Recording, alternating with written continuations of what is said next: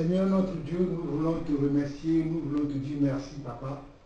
Nous savons que si chacun d'entre nous est ici aujourd'hui, ce n'est pas pour rencontrer un homme, mais c'est pour te rencontrer toi, toi le Dieu Tout-Puissant, le Créateur du ciel et de la terre, le Créateur de toutes choses, toi qui donnes la vie et la respiration à toute chair sur la terre, Papa. Père, avant toute chose, nous te demandons pardon. Si en quoi que ce soit, nous avons dû attrister le Saint-Esprit dont tu nous as scellés pour faire de nous le temple du Saint-Esprit, nous te demandons pardon.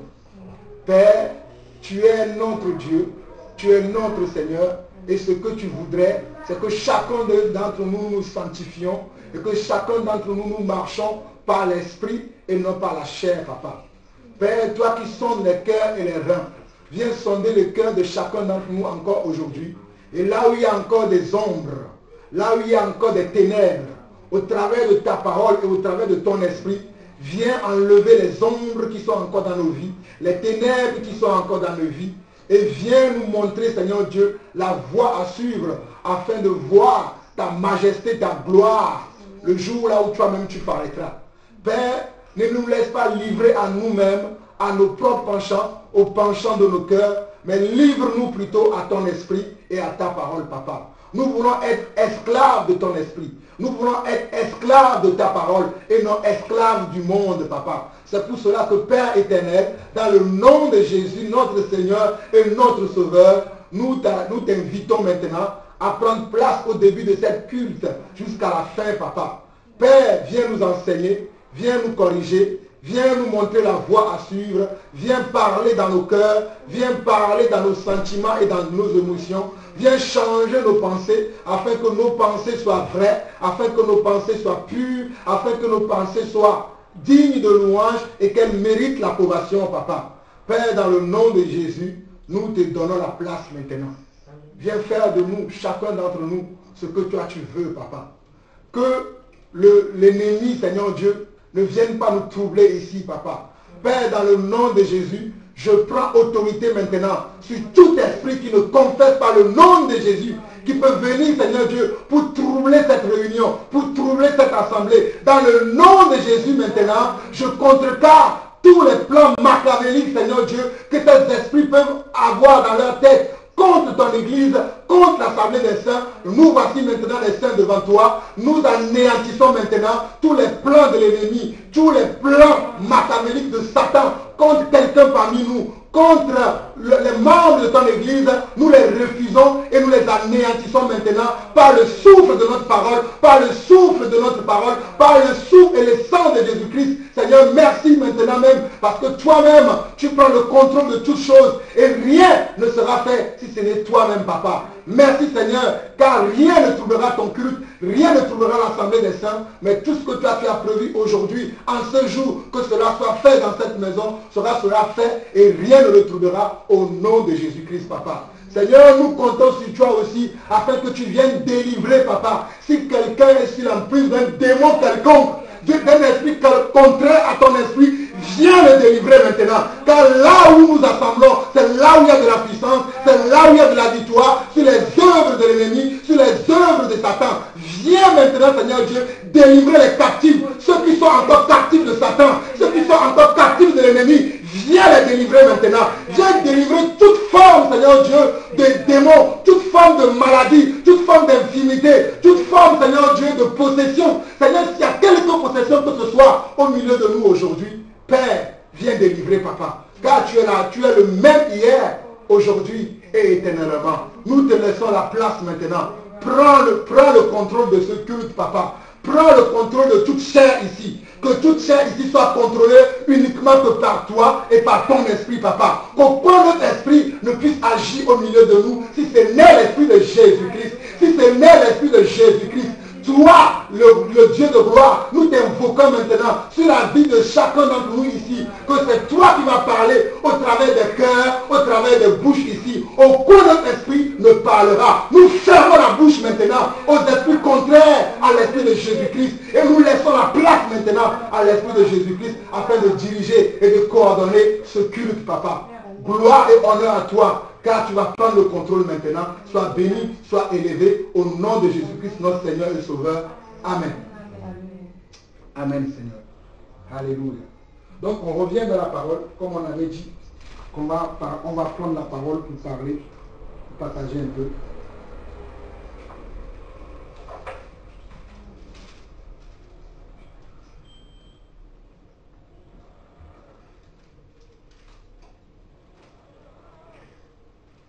1 Corinthiens chapitre 11 à partir du verset 17. Euh, juste, euh, je vais proposer aux frères, donc euh, quand, on souhaite intervenir, bah, vous pouvez lever la main. Donc moi, je me disais, quand je voulais, si je veux intervenir, peut-être je pourrais klaxonner comme ça.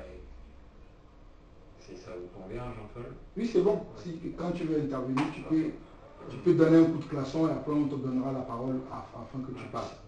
Mais respectons quand même l'autre. Si quelqu'un parle, on laisse la personne, que peu importe que ce soit un homme ou une femme, on laisse la personne intervenir jusqu'à la fin et après, si on a quelque chose à dire.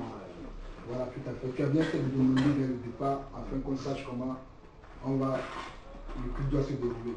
Amen. C'est des choses qu'on sait déjà, mais on doit le rappeler à chaque fois que nous savons que nous devons marcher dans l'ordre. À partir du verset 17, il dit, en donnant cet avertissement, de 1 Corinthiens chapitre 11, hein. il dit, en donnant cet avertissement, ce que je ne loue point, c'est que vous vous assemblez non pour devenir meilleur, mais pour devenir pire. Et d'abord, j'apprends que lorsque vous vous réunissez en assemblée, il y a parmi vous des divisions, et je le crois en partie. Car il faut qu'il y ait aussi des sept parmi vous, afin que ceux qui sont approuvés soient reconnus comme tels au milieu de vous. Là, déjà vers le verset 19, on voit que l'apôtre fait comprendre à l'église de Corinthiens qu'il ne se réunit pas pour devenir meilleur. Je ne veux pas que nous, l'assemblée d'Evry, les saints qui sont à Évry, qu'on soit, soit, comme ça, ou bien nous, les saints qui habitons chacun dans des divers lieux différents, que nous ne serons pas comme ça. C'est-à-dire quand nous nous réunissons, réunissons pour, réunissons-nous pour devenir meilleurs et non pour devenir pire. C'est-à-dire si tu viens ici aujourd'hui, si tu as 20% de degrés de, péché en toi, en sortant ici, normalement tu dois partir en, en laissant les 20% de péché qui sont en toi. Maintenant, si tu n'arrives pas en laissant les 20%, au moins, laisse au moins 10%, comme ça, à la prochaine occasion, tu laisseras encore 2%, et si tu participes au moins à 5 réunions, tu auras laissé tout le péché qui est en toi et tu, deviendras meilleur. Parce que le but, c'est que chacun de nous soit meilleur dans ce qu'il fait avec le Seigneur. Et là, on nous fait comprendre que parmi cette assemblée-là, il y avait même des divisions, il y avait même des sectes, ce qui existe encore aujourd'hui au milieu de nous. Certains vont dire, moi je suis pour Jean-Paul, l'autre va dire, je suis pour le frère Alain Patrick, l'autre va dire que moi je suis pour telle personne, je suis telle, telle personne, alors que ni Jean-Paul, ni Alain Patrick, ni qui que ce soit n'est mort à la croix pour nous. Mais c'est Jésus qui est mort à la croix pour nous tous. Et c'est Jésus que nous devons suivre. Mais néanmoins, Dieu agit au travers des personnes qui nous enseignent la parole de Dieu. Donc c'est à nous de voir si la personne qui enseigne la parole de Dieu, qui nous enseigne la parole de Dieu, est-ce que cette personne-là a vraiment l'Esprit de Dieu? Est-ce que cette personne-là a vraiment la sagesse de Dieu pour diriger tout selon la sagesse de Dieu? Si cette personne n'a pas la sagesse de Dieu pour diriger tout selon la sagesse de Dieu, nous, en tant qu'Église, nous devons prier pour lui pour que Dieu puisse lui accorder la sagesse. Maintenant, si nous prions pour lui, nous pouvons aussi l'approcher pour lui dire, frère, en telle chose tu n'as pas bien fait, en telle chose tu n'as pas bien fait. S'il nous écoute, gloire à Dieu, nous continuons. Mais s'il ne nous écoute pas, nous ne pouvons pas continuer à marcher avec quelqu'un, peu importe ce que la personne fait. Nous ne pouvons pas continuer à marcher avec quelqu'un si la personne n'est pas selon le modèle de la Bible. Ça, il faut que cela soit clair. Même si c'est moi, si je ne suis pas comme selon le modèle de la Bible, vous ne devez pas me suivre. Parce que c'est le modèle de la Bible que nous devons suivre. Le modèle de la parole que nous devons suivre. Car c'est avec la parole qu'on va nous juger. C'est avec la parole qu'on va nous corriger. Donc nous devons marcher selon le modèle de la parole. Selon le modèle qui est dans la parole de Dieu. C'est pour ça qu'on dit ici qu'il y avait des sectes. Et l'apôtre Paul confirme au verset 19 car il faut qu'il y ait aussi des sectes parmi vous, afin que ceux qui sont approuvé, soit reconnu. Il faut qu'il y ait des divisions au milieu de nous, afin que vous, que vous-même, vous puissiez percevoir ceux qui sont reconnus, qu'ils marchent selon, selon Dieu. Est-ce que ce verset veut dire Il faut qu'il y ait de, la différence par rapport à la, manière dont nous marchons, par rapport à la manière dont nous enseignons, par rapport à la manière dont nous, nous, pratiquons la parole, afin que vous-même vous voyez de vos propres yeux que, ah, celui-là il parle, mais moi je préfère écouter les conseils que celui-là donne parce que tu vois qu'il est, il est, il est, il est approuvé dans ce qu'il fait. Comment on sait que quelqu'un est approuvé dans ce qu'il fait? C'est par rapport à la manière dont il parle, la manière dont il agit et la manière dont il enseigne. Il ne, va, il ne va pas ménager de mots. Si par exemple, le frère Patrick fait quelque chose maintenant, je ne vais pas lui dire que non, c'est parce que le frère Patrick, c'est lui qui nous, nous reçoit dans sa maison. Au lieu de lui dire la vérité, je vais commencer par changer la vérité en un certain, à un certain, à, une certaine chose pour ne, pas la, pour ne pas le choquer. Au lieu de lui dire la vérité tout de suite que frère Patrick, malgré ce que tu dis, tu dois marcher un tel, tu dois faire comme ça. Ce n'est pas en faisant comme ça, c'est en faisant comme ceci que tu dois faire. Et on lui dit directement que Patrick, c'est comme ça que tu dois faire. Et c'est ça ce que Dieu veut que nous pratiquions. C'est ça l'amour dont Dieu veut que nous soyons remplis. Et nous devons faire attention à cela, d'une certaine manière, de ne pas nous tromper nous-mêmes. Et ça, c'est très important. Amen.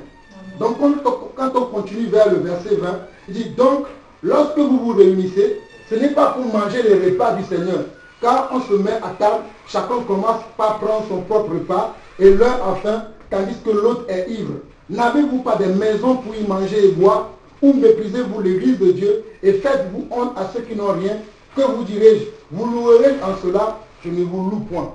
Donc on comprend que dans cette église, il y avait quoi? Il y avait des problèmes. Dans cette église, il y avait quoi? Il y avait des divisions. Il y avait des divisions selon le Seigneur, mais il y avait des divisions qui selon la chair. Il y avait des divisions selon la parole, selon l'Esprit de Dieu, mais il y avait des divisions aussi selon la chair. Mais on, remarque que l'apôtre, il, nous dit que on se réunit pour être meilleur.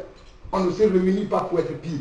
Si nous nous réunissons pour être pire, ça, ce n'est pas la peine qu'on se réunit. Parce qu'on se réunit, nous ne disons pas que nous sommes tous parfaits, mais dans notre assemblée, quand nous nous rassemblons, nous devons apprendre les bonnes manières dans les assemblées. Les bonnes manières, nous devons les, apprendre par rapport à ceux qui nous enseignent. Parce que la Bible dit que ceux qui enseignent doivent être un modèle.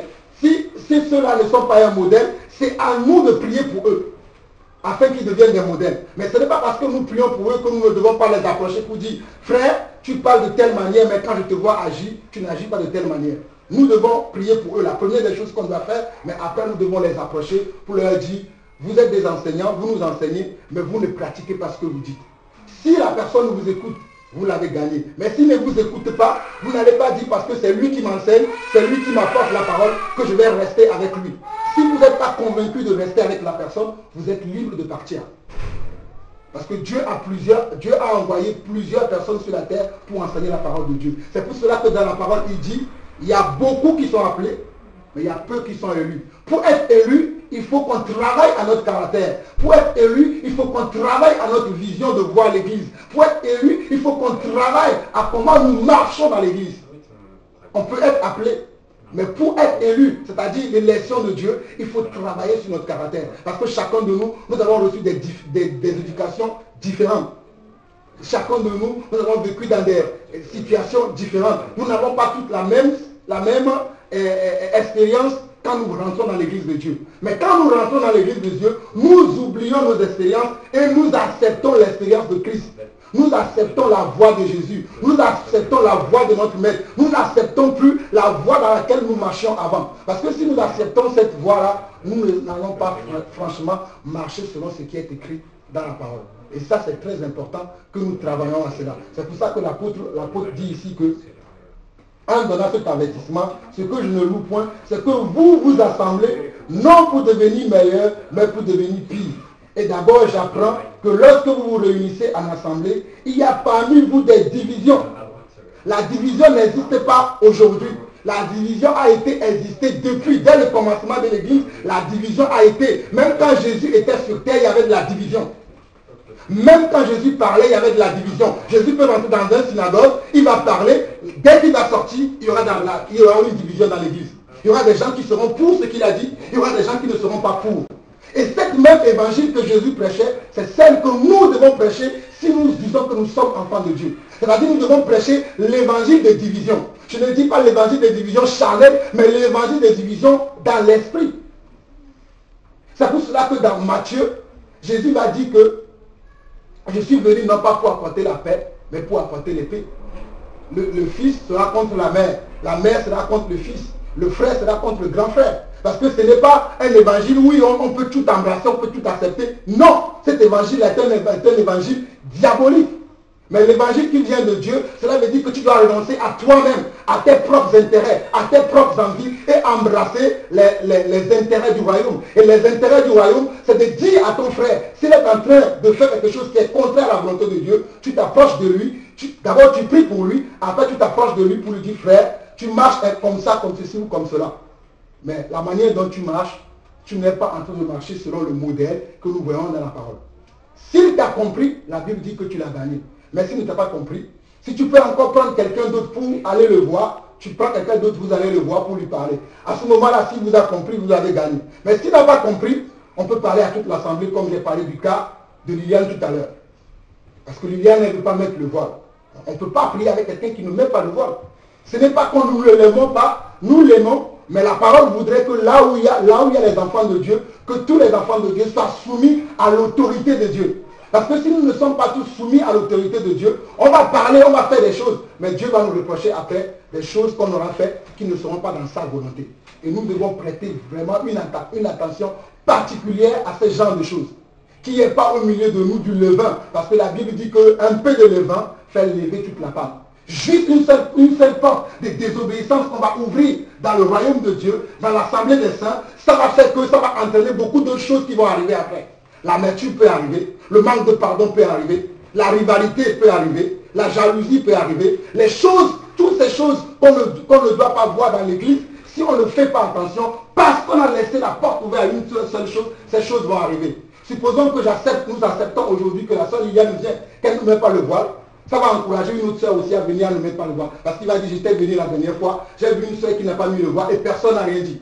Et c'est ainsi de suite que nous allons laisser la compromission rentrer dans l'église de Dieu. Donc ne soyez pas choqués quand on dit certaines choses comme ça, pour dire que non, c'est parce qu'il y a une ligne qu'on doit suivre. Et cette ligne-là, on doit le suivre dans toutes les circonstances. On ne doit pas choisir. Il y a des gens aujourd'hui qui, choisissent certaines parties de la Bible, ils le prennent, et d'autres parties, ils ne prennent pas. Mais nous devons tous choisir toutes les parties de la Bible, afin de marcher selon toutes les parties qui est dans la Bible. Et l'apôtre Paul va dire au verset 23, de 1 Corinthiens 11 dans laquelle nous sommes que car j'ai reçu du Seigneur ce que je vous ai enseigné. Ce que nous enseignons, nous ne l'enseignons pas parce que nous, nous sommes les plus sages que vous. Nous ne l'enseignons pas que parce que nous sommes arrivés. Nous ne l'enseignons pas parce que nous connaissons tout.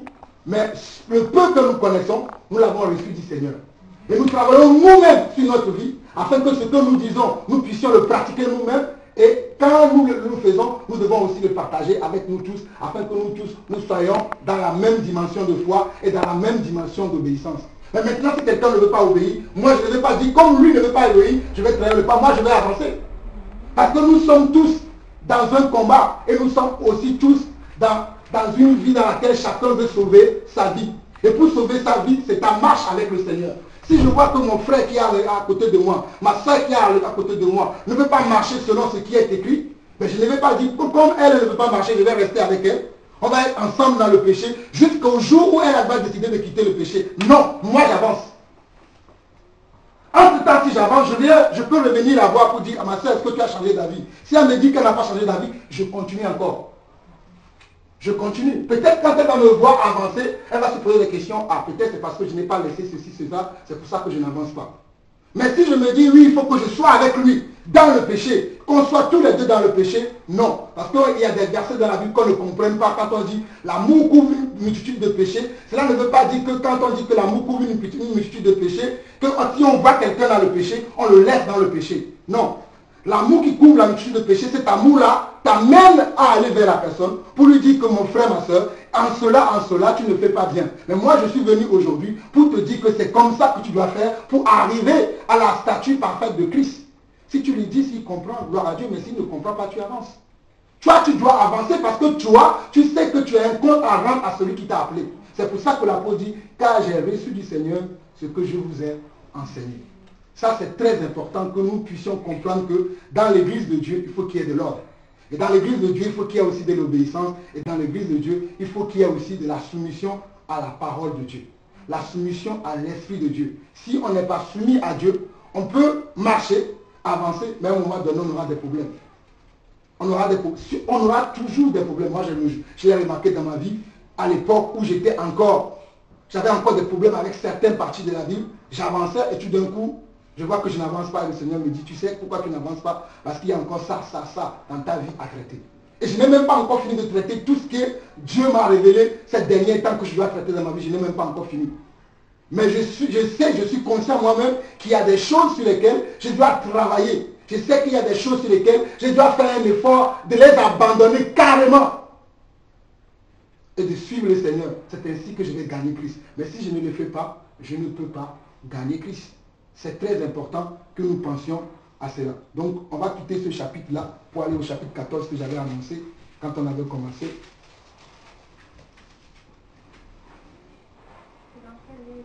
1 Corinthiens chapitre 14, à partir du verset 26.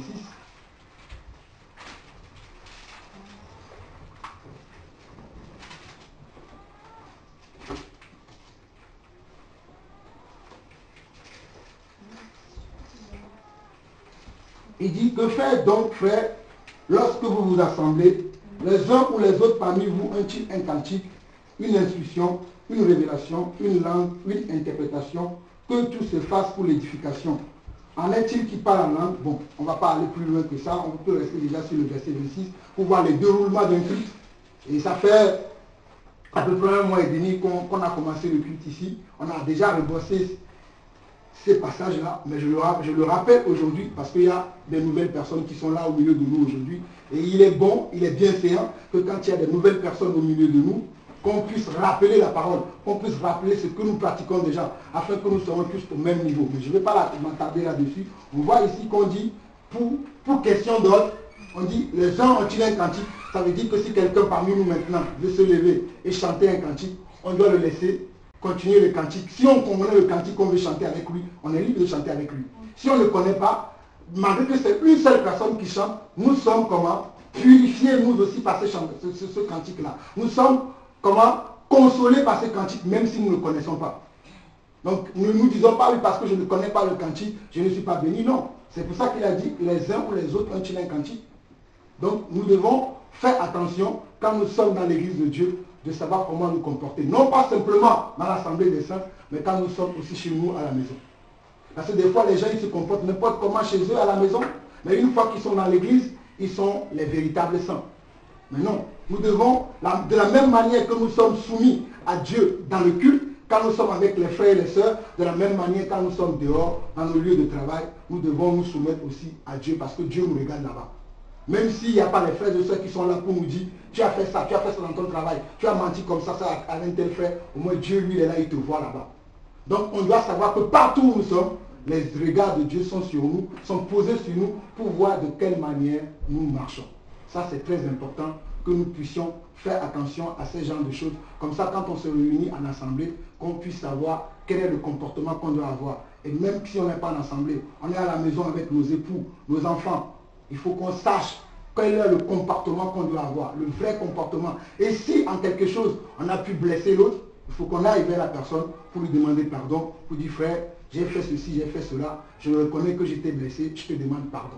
Ça ne nous coûte rien de demander pardon. Et après, une fois qu'on passera cette étape-là, on peut avancer ensemble et c'est là qu'on produira du fruit.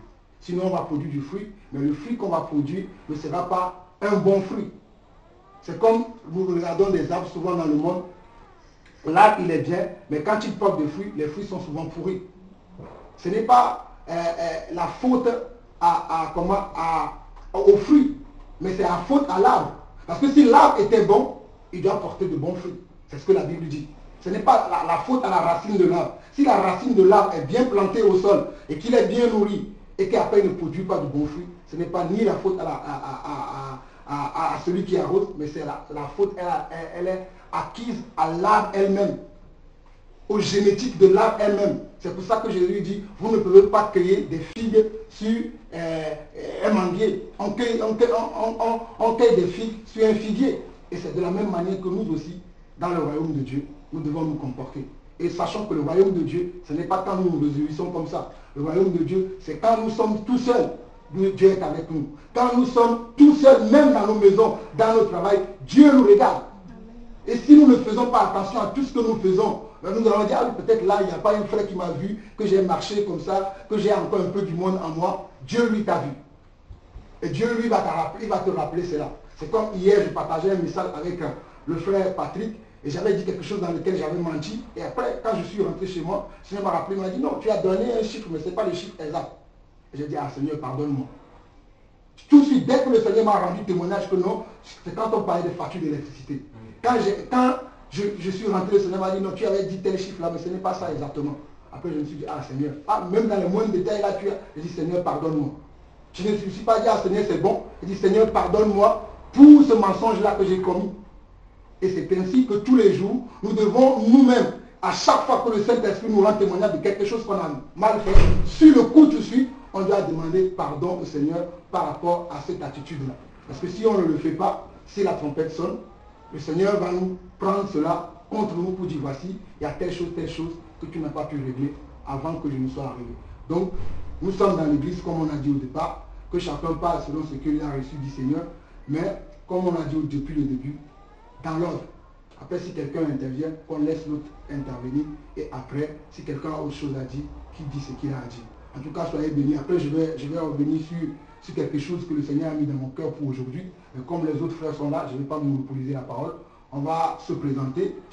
nous nous sommes déjà présentés, mais je vais profiter en même temps pour présenter les autres, frères qui sont là. Pour le frère Alain, vous la connaissez déjà. La sœur Ruth, vous ne la connaissez, vous la connaissez pas. Non, toi tu la connais. Je ne sais pas si ta sœur a, eu l'occasion de la voir avec, prier avec nous.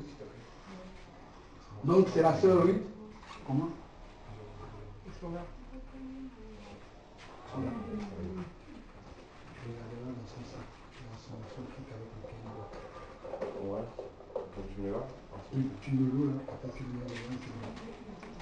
Donc la soeur qui est de l'autre côté, c'est la soeur Florence. Et les deux filles, ce sont ses filles. La, soeur habite à Lyon. Donc elle aussi, elle est venue dans la région parisienne pour, nous rendre visite aujourd'hui. Donc euh, elle est là avec nous. Ça fait depuis longtemps qu'on nous marchons ensemble. À l'époque où j'étais parti à, Lyon, pour toi, c'est Alta qui est avec nous depuis. Donc c'était chez elle qu'on était parti. Après, on a continué pour aller, euh, après aller sans. Donc euh, elle, a, est en vacances, elle a décidé de venir passer quelques temps avec nous sur l'île de France. Donc on va les accueillir, on va les laisser parler. Si quelqu'un a... Après, en dehors de ça, si d'autres personnes voudraient intervenir sur d'autres choses, vous êtes libre d'intervenir comme que, le Seigneur vous conduise. Amen.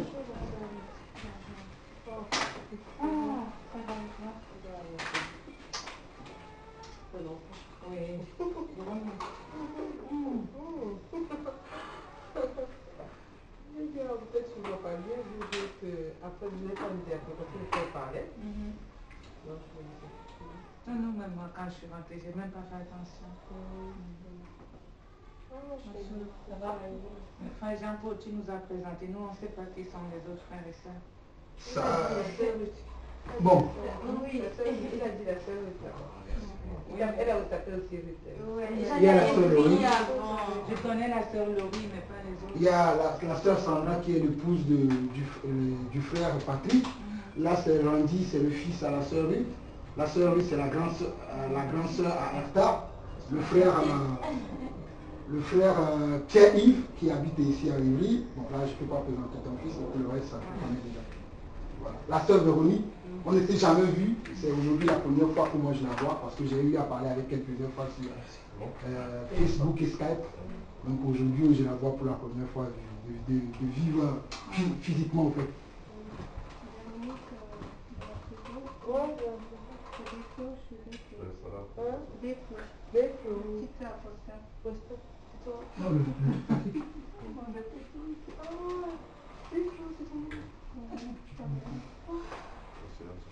C'est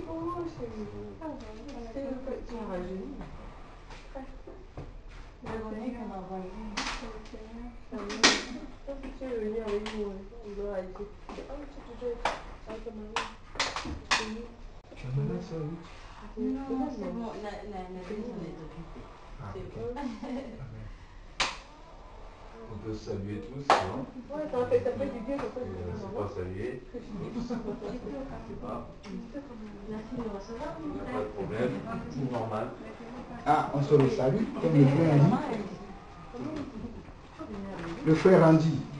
Arrête de grandir, il est dit. Ah, on va- on va Eh, pas te eh, revoir. la bonne nuit, hein. Ah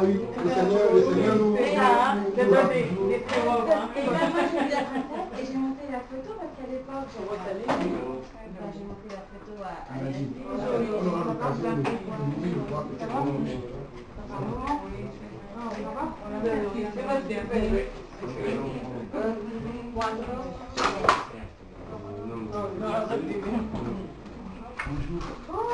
Seigneur, le Seigneur nous... Et là, nous- c'est nous- pas des, des très mauvais. Et ben moi j'ai mis la photo et j'ai monté la photo parce qu'à l'époque j'ai Ben, j'ai monté la photo à, à On a dit, Yannick. on aura l'occasion de de le voir Ça peut-être. va Bonjour. Non,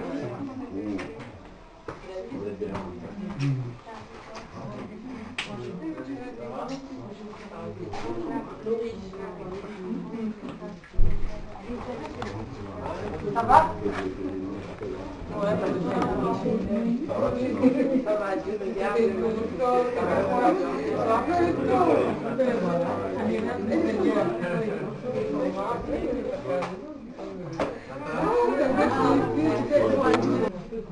Donc pour la continuité, je ne sais pas si quelqu'un d'autre voulait inter- intervenir. Si quelqu'un d'autre voulait intervenir par rapport à autre. Même si c'est un témoignage, hein, même les gens qui viennent un peu de loin, même toi, ça, ça, ça fait... C'est vrai que nous, on a de temps en temps les nouvelles par téléphone. Mais si tu as quelques mots aussi à, à apporter à l'Assemblée, ça va quand même... J'aimerais quand même que toi et la sœur euh, Florence et, la, et maman Ruth, si vous avez quelques mots à dire à l'église, vous avez la parole. Chacun est libre. Si vous n'avez rien à dire, on ne vous force pas à parler, mais si vous avez quelque chose à dire, ça sera la bienvenue. Voilà. Surtout toi, sœur Edgar, ça fait longtemps que t'a pas vu. Tu es là aujourd'hui. Si tu as quelques mots à, donner, vas-y. En fait, euh, enfin, pas vraiment préparé, mais je lisais euh, dans la semaine euh, Ézéchiel 8 et 9 et euh, j'avais envie voilà, de, de lire un peu, qu'on lise un peu ces, ces deux chapitres et puis vous pouvez quelques mots très rapidement. euh, vas-y. Euh, si un frère peut me tenir la Bible, euh,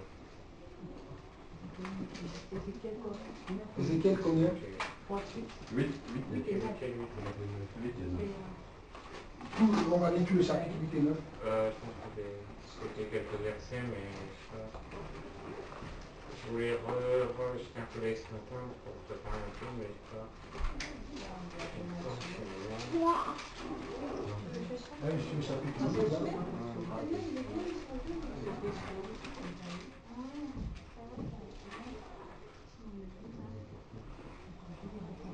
Donc, euh, la sixième année, le cinquième jour du sixième mois, je regardais, comme j'étais comme j'étais assis dans ma maison, les anciens de Juda euh, étaient assis devant moi, la main du Seigneur de l'Éternel tomba sur moi, je regardais, voici, c'était une figure ayant les soins d'un homme. Bon. Alors, euh, bon, voilà pour résumer le, de transport euh, dans le temple. Voilà. Et euh, il me dit, fils de l'homme, lève les yeux du côté du septentrion. Je lève les yeux du côté du septentrion et voici, cette idole, la jalousie était aussi de la porte de l'hôtel à l'entrée. Il me dit, fils de l'homme, vois-tu ce qu'ils font? Les grandes abominations que commissaient la maison d'Israël. Alors euh, donc euh, ensuite donc euh, l'Éternel lui dit de, en fait il entre dans le temple à travers la muraille en disant en fait voilà et il me dit entre et vois les méchantes abominations comète ici, j'entrais et je regardais. Et voici, il y avait toutes sortes de figures de reptiles et de bêtes abominables et toutes les idoles de la maison d'Israël, peintes sur la muraille tout autour. 70 hommes, des anciens de la maison d'Israël, chacun l'accessoire à la main. Et il levé une épaisse nuée d'encens. Et il me dit, fils de l'homme, vois-tu ce que font dans les ténèbres les anciens de la maison d'Israël, chacun dans sa chambre, pleine de figures, car ils disent, l'Éternel ne le voit pas. L'Éternel a abandonné le pays. Et il me dit, tu verras encore d'autres grandes abominations qu'il commet. Donc ensuite on voit là des femmes qui pleurent euh, un dieu païen. Et euh, donc euh, me conduisit dans le parvis du temple. Il y avait environ 25 hommes tournant le dos au temple de l'Éternel et visage vers l'Orient. Et ils se prosternaient à devant ce euh, alors je souhaite la chapitre 8, un petit peu, quelques versets. Donc, chapitre 9, qui criait d'une voix forte à mes oreilles, approchez-vous, approchez, vous qui devez châtier la ville. Chacun son instrument de destruction à la main, voici, ces hommes arrivèrent par le chemin de la porte supérieure, du côté du septentrion, chacun son instrument de à la main. Il y avait au lieu d'eux un homme vêtu de lin, et portant une écriture à la ceinture. Ils vinrent se placer dans l'hôtel des reins. La gloire de Dieu d'Israël s'éleva du lieu sur le du sur lequel elle était. Et se déjà vers le seuil de la maison, il a fait un petit de lin. L'Éternel lui dit, passe au milieu de la ville, au milieu de Jérusalem, et fais une marque sur le front des hommes, qui soupirent et qui gémissent à cause de toutes les abominations qui s'y commettent, et s'adressant aux autres en ma présence, il dit, passez après nous dans la ville et frappez, que votre œil soit pitié, et les de miséricorde, tuez les faisaient les dégâts, les hommes, les vierges, les enfants et les femmes, ne n'approchez pas de quiconque aura sur lui la et commencez par mon sanctuaire. Ils commencèrent par les qui étaient dans la maison. Comme il frappait, écoutez, je tombais sur ma face et je me criais. Voilà, Seigneur éternel, détruira tout, tout ce qui reste d'Israël en répandant ta fureur sur Jérusalem. Il me répondit, de la maison d'Israël et de Juda est grande, excessive. Le pays est rempli meurtres et ville est pleine d'injustice, car disent, l'Éternel a abandonné le pays, l'Éternel ne voit rien. Moi aussi je serai sans pitié, et je n'aurai pas de miséricorde, je ferai retomber leurs forces sur leur tête. Et voici l'homme vêtu de lin, et portant une écriture à la ceinture rendit cette réponse. J'ai fait ce que tu m'as ordonné. Voilà. Donc, euh, non, c'est juste, euh, en lisant ça, je pensais, bon, bah, à l'église actuelle au niveau de, l'apostasie dans l'église. Euh, ce qu'on voit, je pensais à l'église, soi-disant, l'église protestante unie de France, qui a accepté de, qui ont, dans leur synode, ils ont voté une écrasante majorité pouvoir venir les homosexuels, les, unions homosexuelles.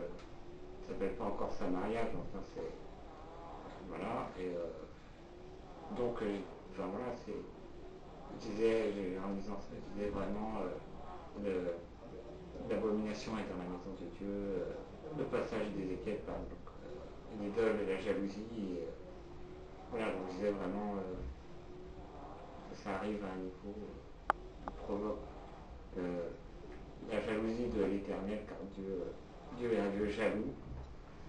Il ne supporte pas que ses enfants s'adonnent au péché, surtout ceux qui prétendent être des religieux. Et, enfin, voilà, c'était juste euh, ce petit partage euh, en fait, euh, par rapport à l'Église protestante unie de France aussi, donc un petit témoignage juste pour dire que en fait j'ai pas encore eu le temps mais mon mail est prêt, je vais leur écrire et ben, j'ai demandé justement, j'en ai un peu parlé dans mon carnet j'avais mis un message un peu à tout le carnet d'adresse. Pour l'instant, pas grand monde m'a répondu, mais il y a la sœur Liliane et la sœur Raïssa, justement. Euh, enfin, Raïssa, je pense qu'elle m'a Et Liliane, elle m'a déjà répondu. Je lui ai dit, est-ce que euh, ça me dit de t'associer avec moi pour mettre ce petit message? Donc, euh, donc elle m'a envoyé un, petit mot en disant, voilà, enfin, deux lignes en disant, voilà, je, m'associe à ce que dit mon frère. Amen. Je ne sais pas si vous avez bien compris ce que Pierre il a dit. Je vais résumer. Hein.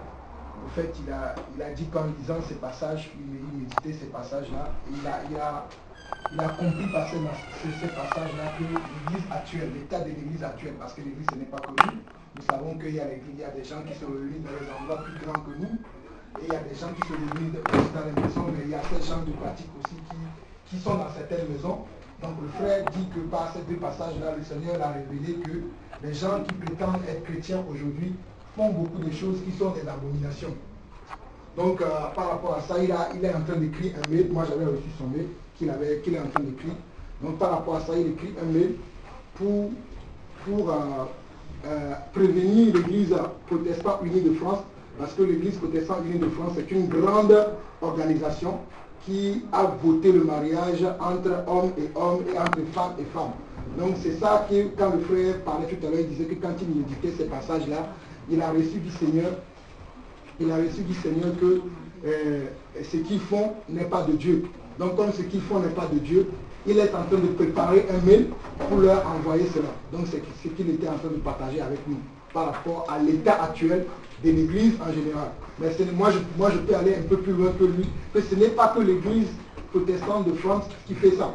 Il y a beaucoup d'autres églises dans lesquelles il y a ça, peut-être aujourd'hui on ne le voit pas. Il y a même certains qui sont dans les maisons, mais qui a ce genre de pratiques qui rentrent dans les maisons aujourd'hui. C'est pour cela que nous aussi qui sommes dans les maisons, nous devons faire, nous devons faire attention pour que ces genres de choses qui arrivent maintenant dans les églises, qui touchent maintenant les églises, mais qui font mal au cœur de Dieu, que cela ne soit pas toujours au milieu de nous. Tout ce que nous pouvons faire, c'est de prier pour, pour eux et après le Seigneur lui-même fera le reste. Mot encore, oui. Donc, euh, voilà, et en fait, dans le passage, euh, dans le livre d'Ézéchiel, un passage, euh, c'est juste avant le passage où Bon, déjà, on a vu au chapitre 9, euh, bien sûr, la sainteté, la sévérité de Dieu à l'égard du péché, qui leur donne à des hommes qui sont des anges, en fait, de châtier, enfin, de marquer d'une part les gentils, enfin, de, ceux qui fidèles, en fait. De faire penser un peu à l'Apocalypse et, par contre, ceux qui ne sont pas marqués du sceau de Dieu sur le front, de, les massacrer et voilà, juste après, il y a la, gloire de l'Éternel qui va quitter euh, Israël euh, Jérusalem. Mais bon, en ce moment, euh, voilà, on sait que le Seigneur a dit qu'il reviendra comme un voleur dans, la nuit, donc nul ne sait vraiment quand il va revenir. Mais bon, on entend pas mal de choses en ce moment, enfin, sur, sur Internet, bon, il y a des gens, et des frères qui pensent par rapport au fait que, en fait, Israël a repris le contrôle euh, du monde du temple en juin 67. Donc, euh, les années juives, c'est des, années de 360 jours. C'est des années euh, pas, pas, solaires mais lunaires. Mais, donc en faisant le calcul, on arrive à.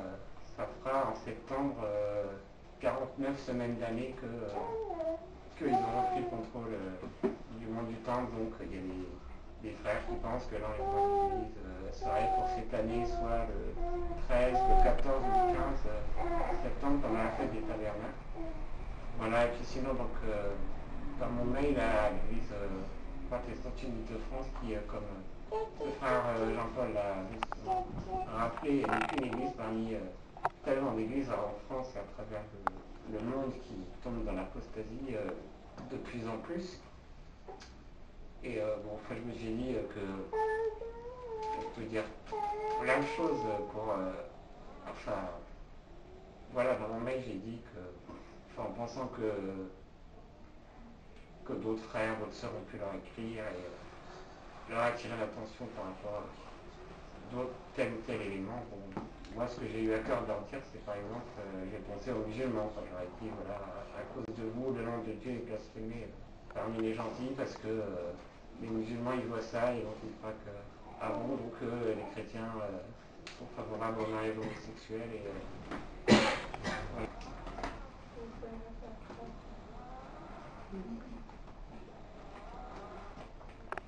Donc, comme le frère il explique, c'est par rapport à tout ce qui se passe dans l'église qu'il dit ça. Hein. Donc, lui, il dit que le Seigneur l'inspire à envoyer un mail à, l'église protestante unie de France pour toucher ce péché-là qui est le péché de l'homosexualité. Donc, on espère que son mail va, va toucher leur cœur. Amen. Amen. Je vais dire deux mots sur le sujet, puisque a eu à cœur de le partager avec nous. Dans le premier mot, déjà, c'est dans Romains, Romains chapitre 1. Je pense qu'on connaît bien ce chapitre-là, où le Seigneur, par la plume de l'apôtre Paul, parle de ces choses-là. Et en fait, je pense que ce que nous, nous devons retenir, effectivement, c'est un message qui est adressé aux personnes qui, euh, qui ont pris l'initiative et la responsabilité de parler, soi-disant, au nom des chrétiens et qui prennent une telle position.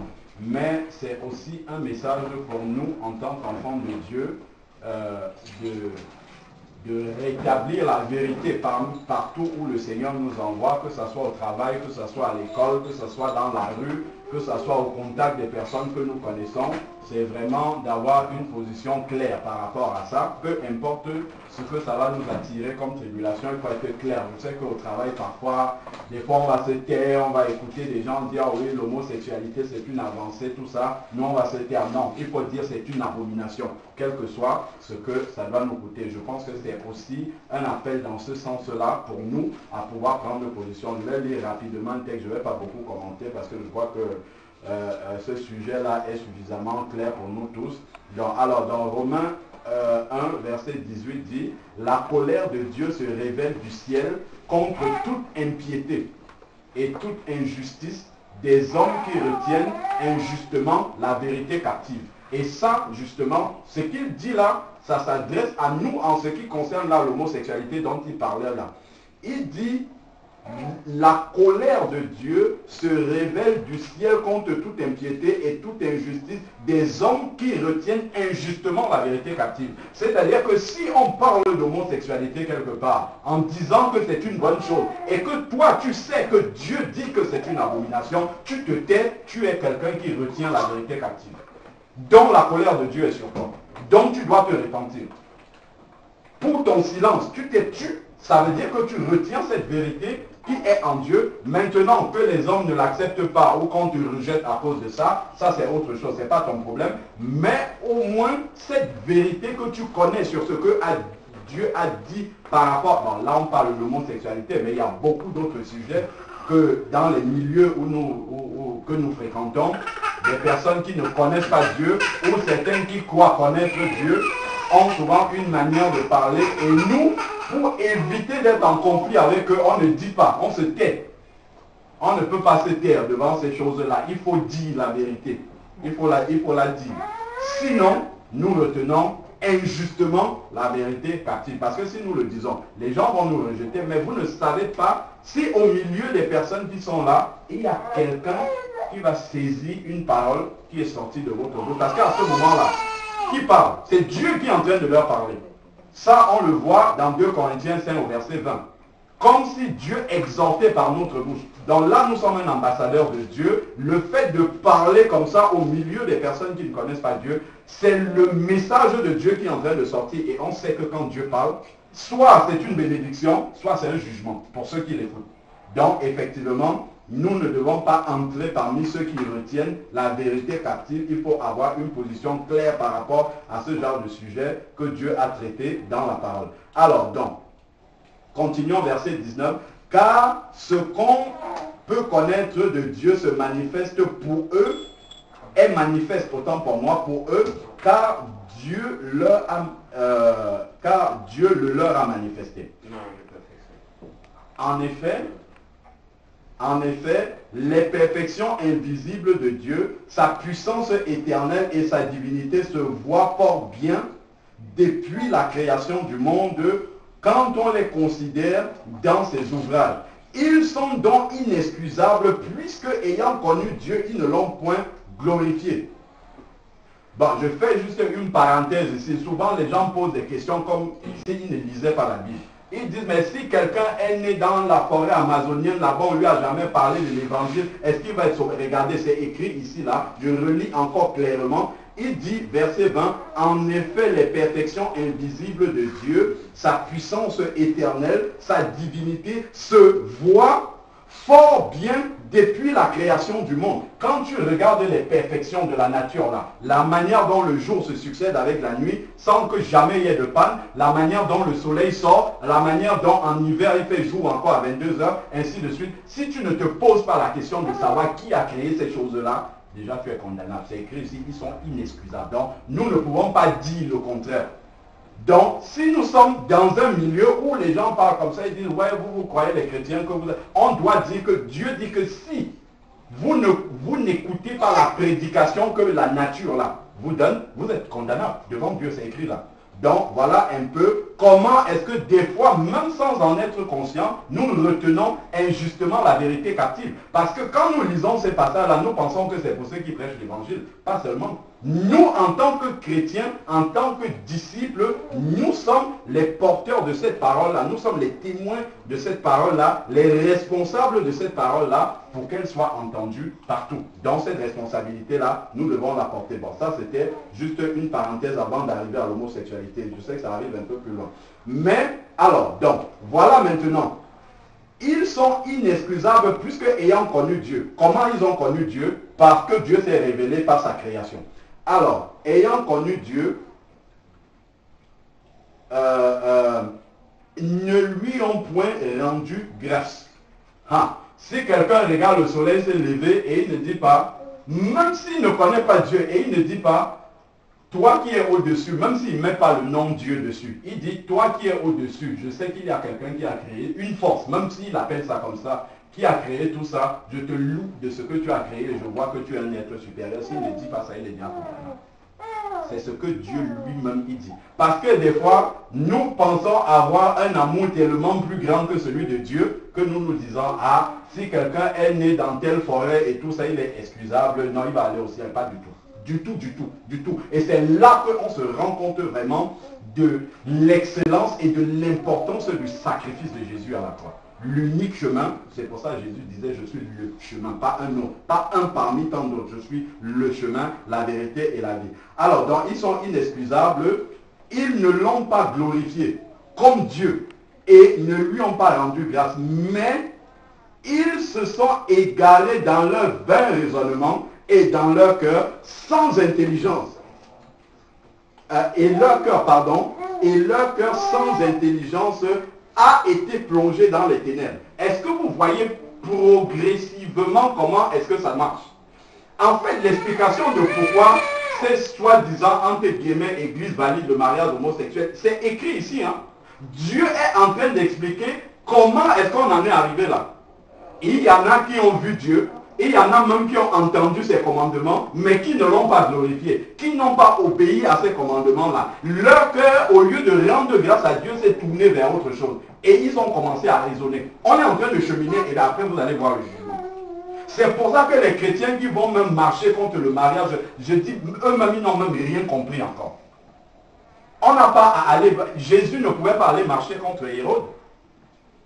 Il ne pouvait pas faire une rébellion contre Hérode, pas du tout. Ça, on nous luttons non pas avec les armes charnelles, mais avec les armes spirituelles. On n'a pas allé se mettre en route pour marcher contre le mariage homosexuel. Il faut laisser les gens du monde faire ça. Ça, ce sont les armes que eux, ils ont. Les armes charnelles, ils peuvent le faire. Mais nous, on n'a pas allé faire ça. Je parle de répondre au gouvernement, parce qu'eux aussi sont païens. Je ne parle pas de répondre à des soi-disant chrétiens. Si c'est parler à des soi-disant chrétiens, la démarche du frère est bonne. C'est différent. Je parle d'aller répondre au gouvernement qui a voté ça en se mettant en route pour marcher. Ça, ce n'est pas une démarche chrétienne. Ça, c'est entre parenthèses, parce que j'ai vu des bus, j'ai entendu des chrétiens se déplacer des villes dans le sud de la France pour venir marcher sur Paris. Ça, vraiment, je ne sais pas si Jésus a déjà fait ça dans la parole. Alors, continuons maintenant. Voilà comment le Seigneur explique bien la démarche, comment est-ce qu'on en est arrivé là? Dieu, ils ne l'ont pas glorifié, ils ont commencé à raisonner des réponses. Alors, donc, leur cœur, mais ils se sont égarés dans leur vain raisonnement. Je suis au verset 21. et leur cœur sans intelligence a été plongé dans les ténèbres. Au lieu de prier Dieu pour comprendre, pour avoir la révélation sur les choses, ils ont commencé à raisonner et Dieu a plongé leur cœur dans les ténèbres. Les ténèbres, c'est le contraire de la lumière et Jésus est lumière. On est en train de descendre progressivement pour comprendre. Se vantant d'être sage.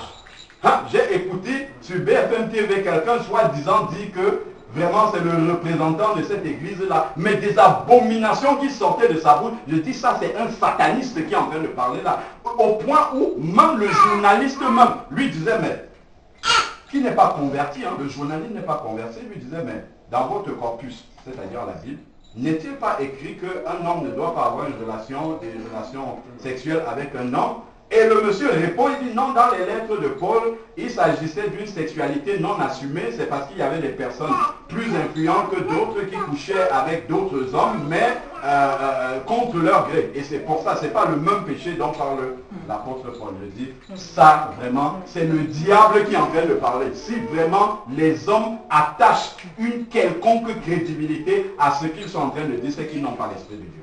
Alors, donc continuons maintenant.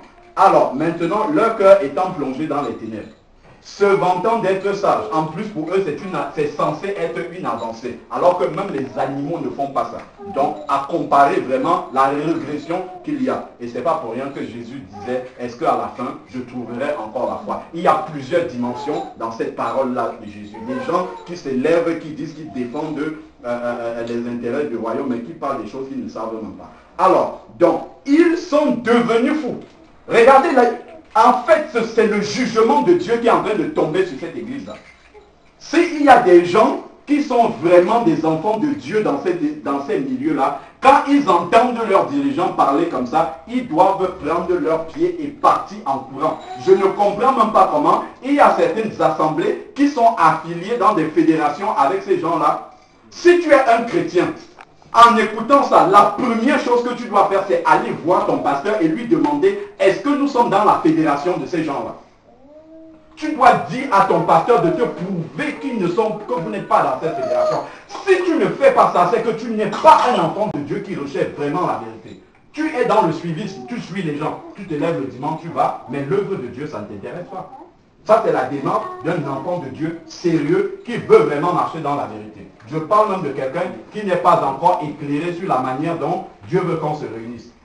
Bon, alors, donc, continuons maintenant. Ici, il va dire, ils ont remplacé la gloire de Dieu, du Dieu incorruptible, par des images représentant l'homme corruptible au lieu de chercher la volonté de Dieu, ils ont pris la place de Dieu et ils dictent ce qui vient de leur propre cœur. C'est l'homme qui est devenu Dieu. Ça, c'est la religion de l'Antichrist. C'est vers ça qu'on est en train de partir. Quand on parle de la fin des temps, on dit c'est quoi la religion unique? La religion unique, c'est là où l'homme devient Dieu. Il dicte ce qu'il a envie de faire. Et ça, on attend juste l'émergence d'un homme, l'Antichrist et le faux prophète. C'est ça, c'est vers ça qu'on est en train de partir ce mariage homosexuel qui est validé partout, c'est une grande enjambée vers la religion finale de l'Afrique. C'est ça que nous sommes en train de voir. Et ça, les chrétiens n'ouvrent pas les yeux pour comprendre ce qui est en train de se passer. Continuons. Alors, donc, ils sont devenus fous. Ça, c'est un jugement de Dieu. Le jugement de Dieu commence quand nous sommes vivants ici sur la terre. Pas que pour eux, même pour nous, quand nous marchons dans le péché. Dieu nous fera par une puissance d'égarement. 2 Thessaloniciens 3. C'est ça qui est en train de leur arriver. On a vu progressivement, Dieu s'est révélé, ils n'ont pas accepté, ils ont commencé à raisonner, Dieu a plongé leur cœur dans les ténèbres. C'est ça le cheminement. Quand quelqu'un demande souvent, est-ce qu'un chrétien veut perdre son salut, voici le cheminement encore ici. Dieu se révèle, Dieu te montre la vérité, tu n'acceptes pas. Le cœur s'endurcit. C'est comme s'il prend ton cœur, il plonge dans les ténèbres. Maintenant, au lieu de voir clair, tu vois dans le noir. Tu es dans les ténèbres maintenant, tu commences à marcher n'importe comment. Nous passons du raisonnement au cœur plongé dans les ténèbres. Le cœur plongé dans les ténèbres, nous passons maintenant à devenir fou. Perdre la raison.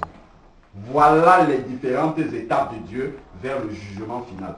Même, et ça, ça doit servir même pour nous, chrétiens, qui disons que nous marchons debout.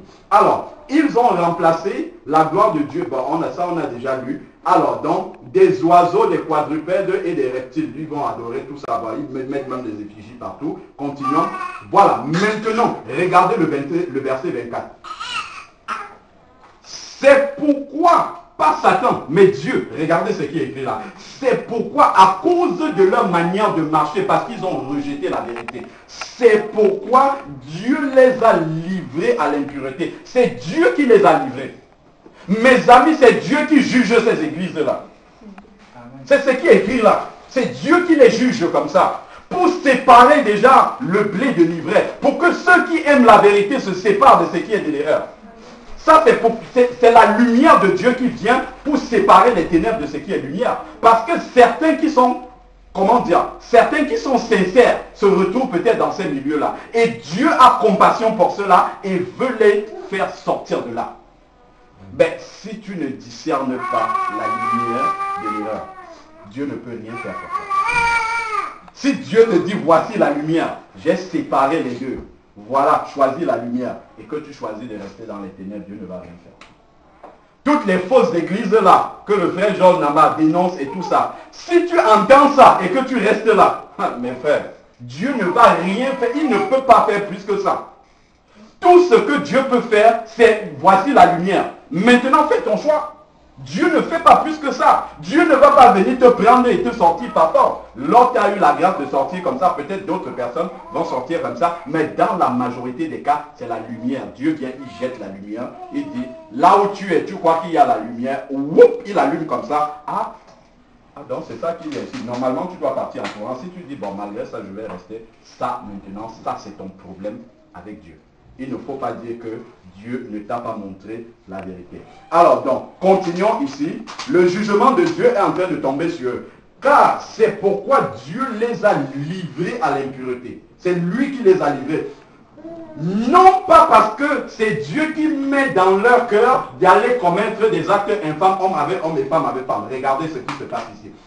Dieu les a livrés à l'impureté selon les convoitises de leur cœur. C'est-à-dire que ce mal-là était dans leur cœur. Ils avaient juste besoin d'être poussés, impulsés pour aller le faire. Et c'est selon les convoitises de leur cœur.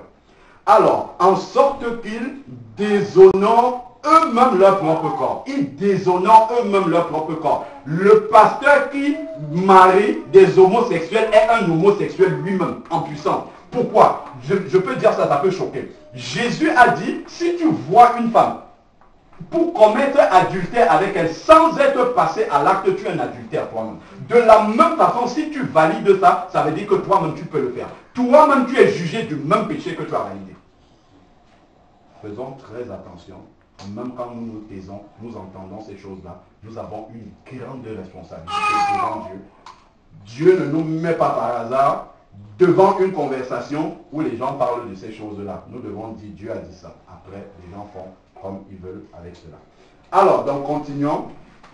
Même les musulmans le disent. Même les musulmans ne se taisent pas devant ça. Ils le disent. Pourtant, ils n'ont pas forcément la vérité.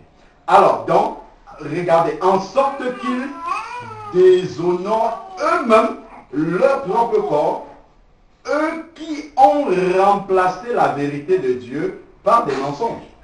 Quand tu refuses la vérité, qu'est-ce qui vient après? Des mensonges.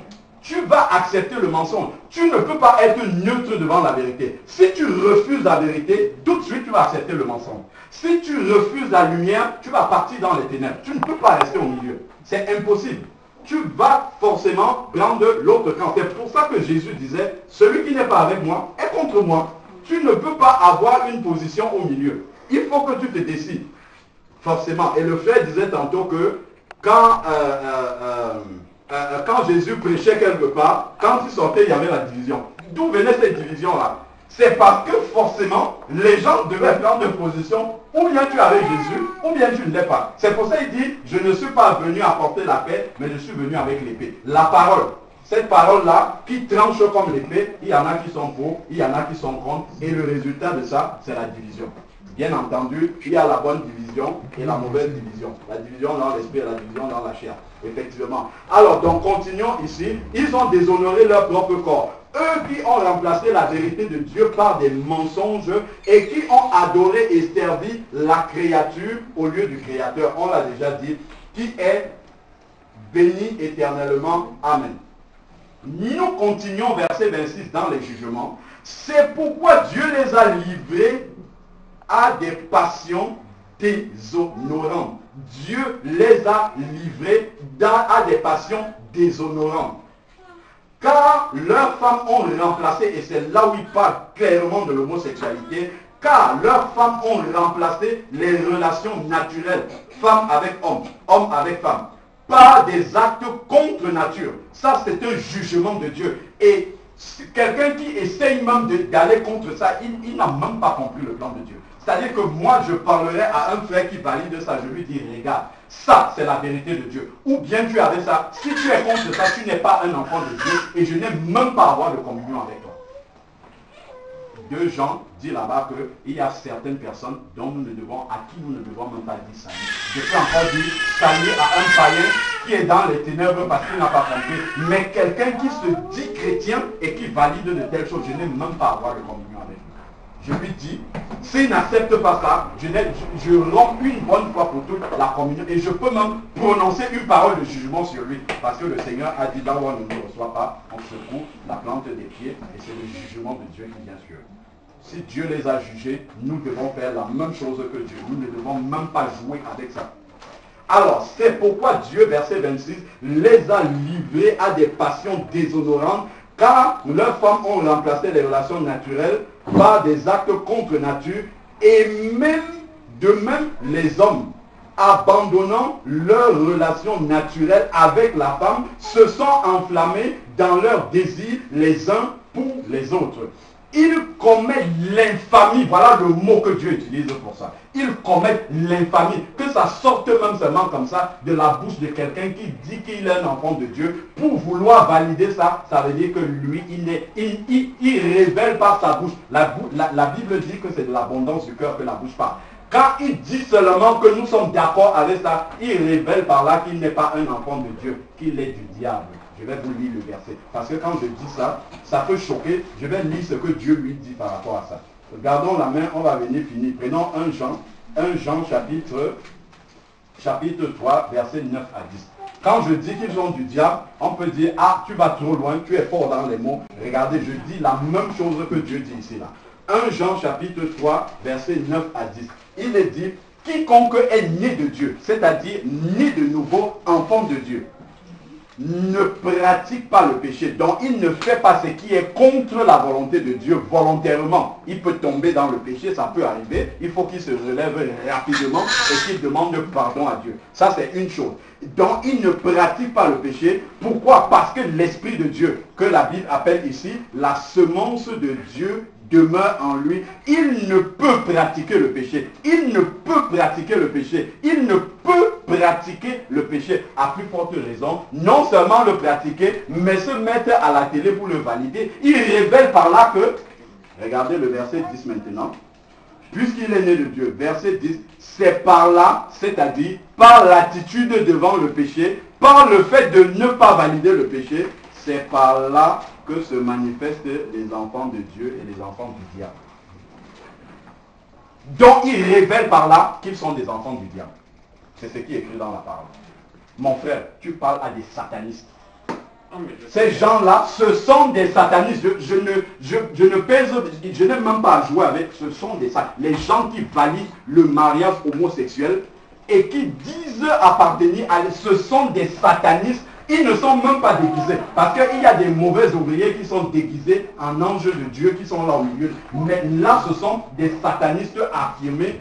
C'est-à-dire que volontairement, ils viennent, c'est comme l'homme de péché qui va venir dire, voilà, je suis Dieu, adorez-moi. C'est aussi grossier que ça. D'accord. Je ne dis pas qu'on ne va rien faire. Hein. On doit les avertir. C'est pas ce que je dis. Non. Mais... Oui. Que quand vous euh, D'accord. Euh, par rapport à ce que tu dis, en fait, euh, justement, dans l'émission de Jésus-Christ TV sur l'émission protestante Unique France, justement, d'ailleurs c'est un peu ce que j'aurais dit dans, dans, le mail que j'aurais écrit, j'aurais rappelé ces liens historiques. En fait, Jean Lamar rappelait très justement que en fait il y avait des liens historiques pas cachés du tout. On connaît très bien entre les huguenots français et, la franc-maçonnerie. Donc moi, quand, voilà, quand il, disait certainement, il y a des francs, enfin, sous-entendu, des compagnies, euh, quand sais, il y a sûrement des francs-maçons, en fait, euh, quand les élus allaient prêts à parler à la télé, j'ai dit, euh, ça se trouve, c'est des francs-maçons.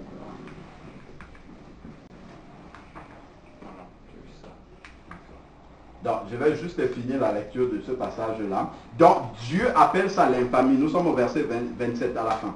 Alors, ils commettent l'infamie homme avec homme. Ils reçoivent eux-mêmes le salaire que mérite leur égarement. Donc Dieu leur donne un salaire par rapport à cet égarement. Ça a commencé progressivement. On a vu comment, tout doucement, tout doucement, ils sont allés dans l'erreur il y a des choses que sûrement même les anciens dans la foi ont reproché à ces soi-disant églises-là. Voilà, vous ne marchez pas dans la parole, ce que vous faites, ce n'est pas biblique, vous avez rejeté ça progressivement jusqu'à ce qu'à la fin, voilà, ils arrivent là et reçoivent le salaire de leur égarement. C'est allé progressivement sur des siècles. Et puis finalement, à la fin des siècles-là, nous voyons exactement ce qui l'emmenait de ces assemblées-là. En fait, c'est une preuve que Dieu rejette publiquement ces assemblées. Alors, continuons. Comme ils n'ont pas jugé bon d'avoir la connaissance de Dieu. Ce n'est pas que Dieu ne le leur a pas révélé. Dieu le leur a révélé, mais eux, ils ont jugé que ce n'était pas bon. Ce n'est pas utile d'avoir cette connaissance de Dieu.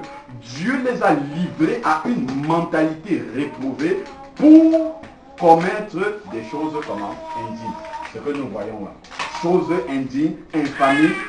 Ils sont remplis de toute espèce d'injustice, de méchanceté, de cupidité, de perfidie, plein d'envie, de meurtre, de discorde, de, de fraude, de vice, rapporteurs médisants, impies, emportés, orgueilleux, fanfarons, euh, euh, euh, ingénieux au mal, rebelles à leurs parents, ainsi de suite. Tout ça, ce sont les conséquences du rejet de la volonté et de la parole du Seigneur. Alors, sans, piété, et bien qu'ils connaissent le, euh, et bien qu'ils connaissent le décret de Dieu, ces gens-là, c'est pas qu'ils ne connaissent pas la parole. Puisque même le journaliste, je dis des choses que j'ai vues et entendues même avec les frères ici.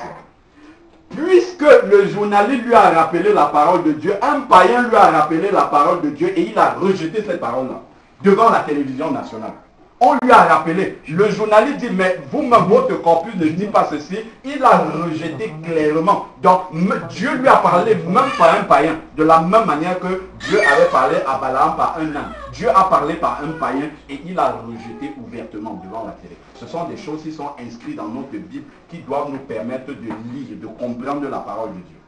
Alors, donc ensuite, voilà le verset 32 qui dit, eh bien, ils ne connaissent pas, bien qu'ils connaissent le décret de Dieu, selon lequel ceux qui pratiquent de telles choses sont, sont dignes de mort. Non seulement ils les font, mais encore ils approuvent ce qu'ils pratiquent. Ça, c'est la vérité que je disais tantôt, que le pasteur qui marie des homosexuels est un homosexuel lui-même. C'est écrit ici, inversez le verset. Ils approuvent ceux qui pratiquent parce qu'eux-mêmes ils le pratiquent. Eux-mêmes ils sont d'accord. S'ils pouvaient le faire, ils le feraient. Et on ne sait même pas s'ils ne le font pas d'ailleurs. Donc vraiment, et si pour terminer, allons-y voir dans Apocalypse 22 ce que Dieu dit par rapport à tout cela. La sentence finale de tout ça. C'est écrit clairement dans la parole de Dieu. Ici,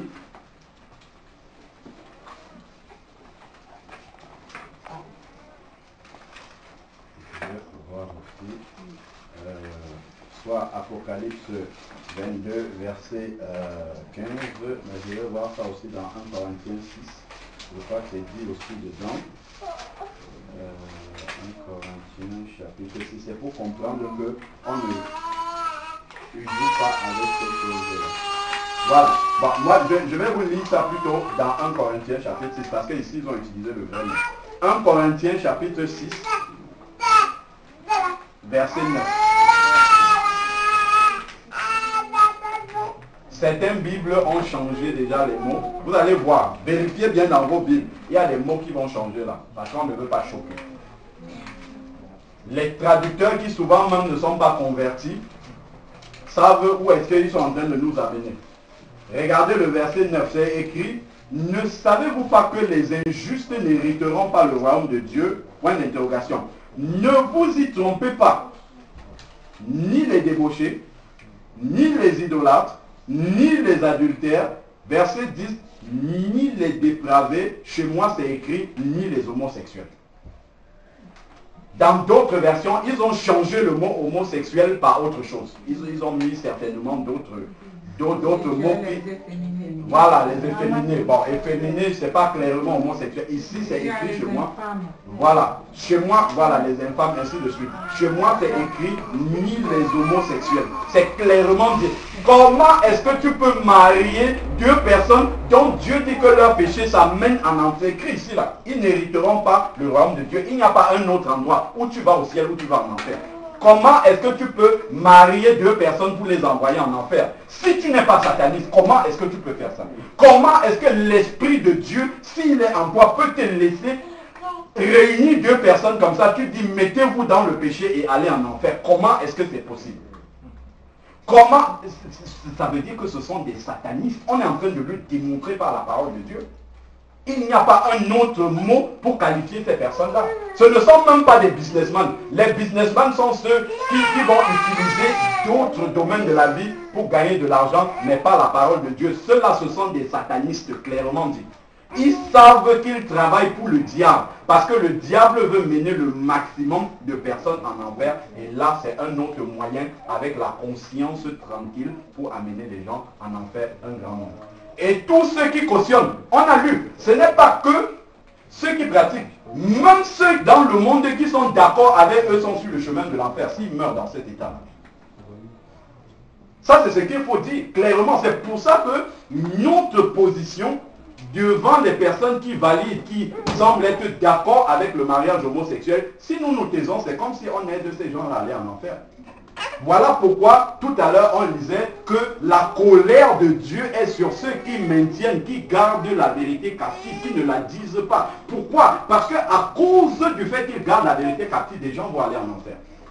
C'est ça que nous sommes en train de voir ici.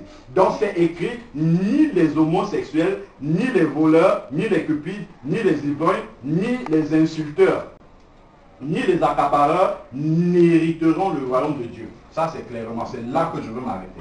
Donc, vraiment, c'est pour dire que nous ne devons pas traiter ou, voir cela avec légèreté, mais c'est encore une ruse du malin pour amener non seulement, bon, ces personnes qui sont à la tête là, elles savent qu'elles travaillent pour le diable et qu'elles savent le salaire qui correspond à cela, mais maintenant toutes les personnes qui veulent être naïves et qui ne veulent pas prendre position clairement pour la vérité par rapport à ces sujets-là, elles vont entraîner également ces personnes-là.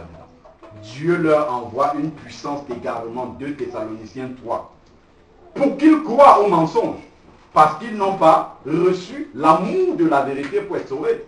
Quelqu'un qui a l'amour de la vérité est celui, quand il va voir son église, aller dans ce sens-là, il va aller voir le pasteur pour dire, pasteur, est-ce que nous sommes affiliés avec ces gens-là? Quand on voit que même les pentecôtistes sont affiliés avec ces gens-là, et il y a plein de gens qui se lèvent ils prennent leur Bible le dimanche, ils vont, ils adorent leur pasteur ils ne vont pas aller lui poser la question quand ils voient ça. Est-ce que nous sommes avec ces gens-là? Est-ce que nous sommes liés avec ces gens-là? Est-ce que nous validons le péché de ces gens-là?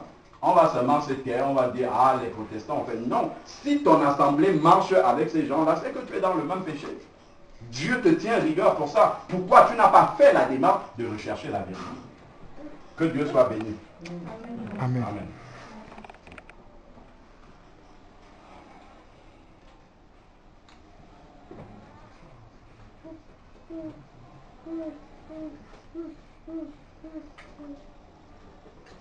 Si quelqu'un d'autre veut parler, parler. Hein. Même si c'est un témoignage. Je vais maintenant. Amen. Seigneur Dieu Tout-Puissant, Père, je veux encore te rendre grâce et bénir ton Saint-Nom pour ce que tu as mis dans le cœur de notre frère Pierre-Yves, Seigneur Père, de s'insurger et de se lever contre ces abominations, pour avoir, Seigneur Père, à cœur de sauver ceux qui, veulent, qui peuvent encore l'être. Parce que tu nous dis dans 2 Pierre 3, versets 8 à 9, que tu retardes tes jugements afin que le maximum d'hommes puissent être sauvés. Père, nous voulons te prier pour tes enfants qui sont dans ces milieux-là, qui sont encore captifs de ces faux bergers, Seigneur Père éternel. Nous te prions que vraiment ta lumière vienne dans leur cœur. Que, Seigneur Père, l'amour de la vérité, Père, puisse naître dans ces cœurs et qu'ils aient le courage de sortir de ces milieux-là, Seigneur Père, pour ne pas être condamnés pour l'enfer, parce que nous avons vu ce que dit ta parole par rapport à ces choses. Père, nous voulons te prier pour tous les homosexuels, Seigneur Père, que vraiment ceux qui ont le cœur ouvert, que tu viennes leur révéler Ô Père éternel, que cela n'est pas ta volonté, que tu condamnes cela, même s'il y a des hommes qui veulent valider cela, Seigneur Père éternel, que leurs yeux s'ouvrent sur cette abomination et qu'ils l'abandonnent, Seigneur Père, et qu'ils viennent à tes pieds, qu'ils crient pour que tu les délivres, Seigneur Dieu Tout-Puissant. Père, je te prie maintenant pour ton Église pour ton épouse. Seigneur Père, ouvre nos bouches, Seigneur Père, afin que nous ne nous taisons pas devant ces péchés que tu appelles infamie, Seigneur devant ces péchés que tu appelles abomination, que nous ayons le courage de prendre position clairement, quel que soit ce que ça doit nous coûter. Père, donne-nous de pouvoir dire la vérité telle que tu l'as dit aussi, Seigneur Père, et de ne pas flirter avec ces infamies. Père, nous te bénissons encore. Conduis-nous toujours par ton esprit. Au nom de Jésus-Christ. Amen. Amen.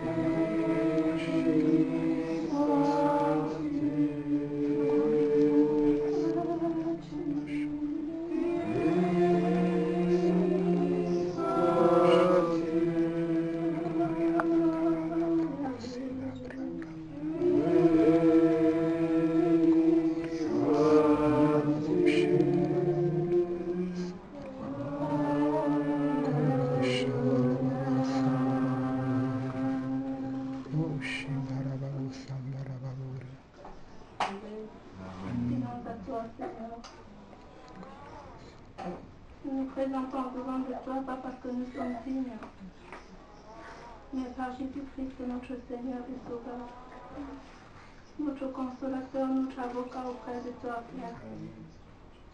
Nous unissons nos voix, Seigneur, en cet instant précis, parce que c'est en ton nom que nous sommes rassemblés dans cette maison. C'est en ton nom que nous nous sommes levés, Seigneur, pour venir ensemble élever nos voix, implorer ta grâce pour ton Église implorer ton pardon pour ton Église. Reçois favorablement nos supplications, Seigneur. Et agis puissamment au sein de ton Église, Seigneur.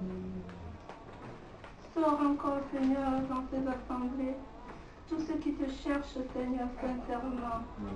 Tu nous as fait grâce, pas parce que nous étions parfaits, pas parce que nous sommes dignes, Seigneur, mais par amour. Nous t'en supplions, éternel Dieu désormais, de faire pareil pour tous ceux qui te cherchent encore mais qui sont perdus, qui ne sont pas éclairés, Seigneur, qui ne sont pas au bon endroit, au bon moment, Seigneur. Nous te prions de faire grâce, Seigneur. Notre cœur est dans la joie, Seigneur, d'avoir connu la vérité, de l'avoir acceptée, d'avoir entendu la vérité, de l'avoir embrassée, Seigneur. Nous sommes pleinement dans la joie, mais nous ne voulons pas nous enorgueillir. Nous voulons venir au devant de toi, te supplier pour tous ceux qui y sont encore, afin que tu leur. Même pour ceux, Seigneur, que soi-disant pasteur, Seigneur, qui induit ton peuple en erreur, nous voulons te prier pour eux afin que tu les arrêtes, Seigneur parce que rien n'était impossible. Merci encore de répandre, Seigneur, ta paix au milieu de nous. Merci encore de répandre ta, ta bénédiction au milieu de nous et que ton Saint-Esprit nous conduise encore cet après-midi, Amen.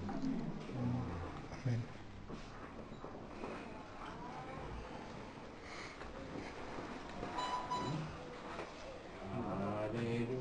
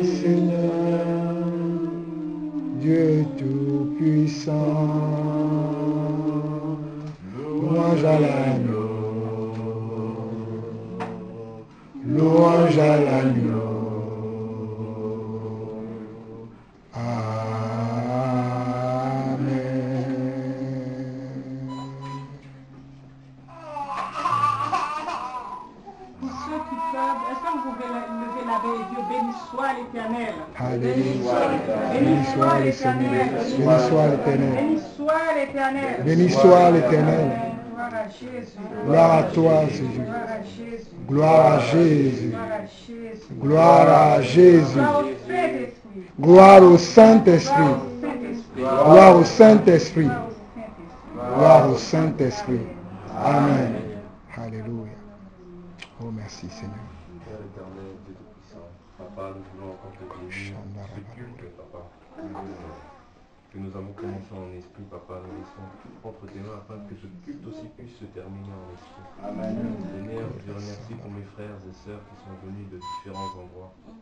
Seigneur, qui ont pris le temps venir nous rassembler, le temps afin que nous puissions nous rassembler fraternellement. Non dans la chair, mais dans l'esprit, papa. Donne-nous la grâce de pouvoir nous connaître davantage, papa. Donne-nous la grâce de pouvoir nous aimer davantage, papa. Donne-nous la grâce de pouvoir nous détourner de toute pensée charnelle, papa, et que tout se fasse par l'esprit. Amen. Merci de ton amour, merci de ce que tu nous as sorti, papa, de toutes ces formes d'abomination dans lesquelles nous étions tous, chacun d'entre nous dans lequel tu nous as appelés, car tu avais un appel pour chacun d'entre nous. Tu nous connaissais avant même que nous soyons dans le ventre de, notre mère, papa. C'est pourquoi nous te bénissons, nous te rendons grâce en ce moment.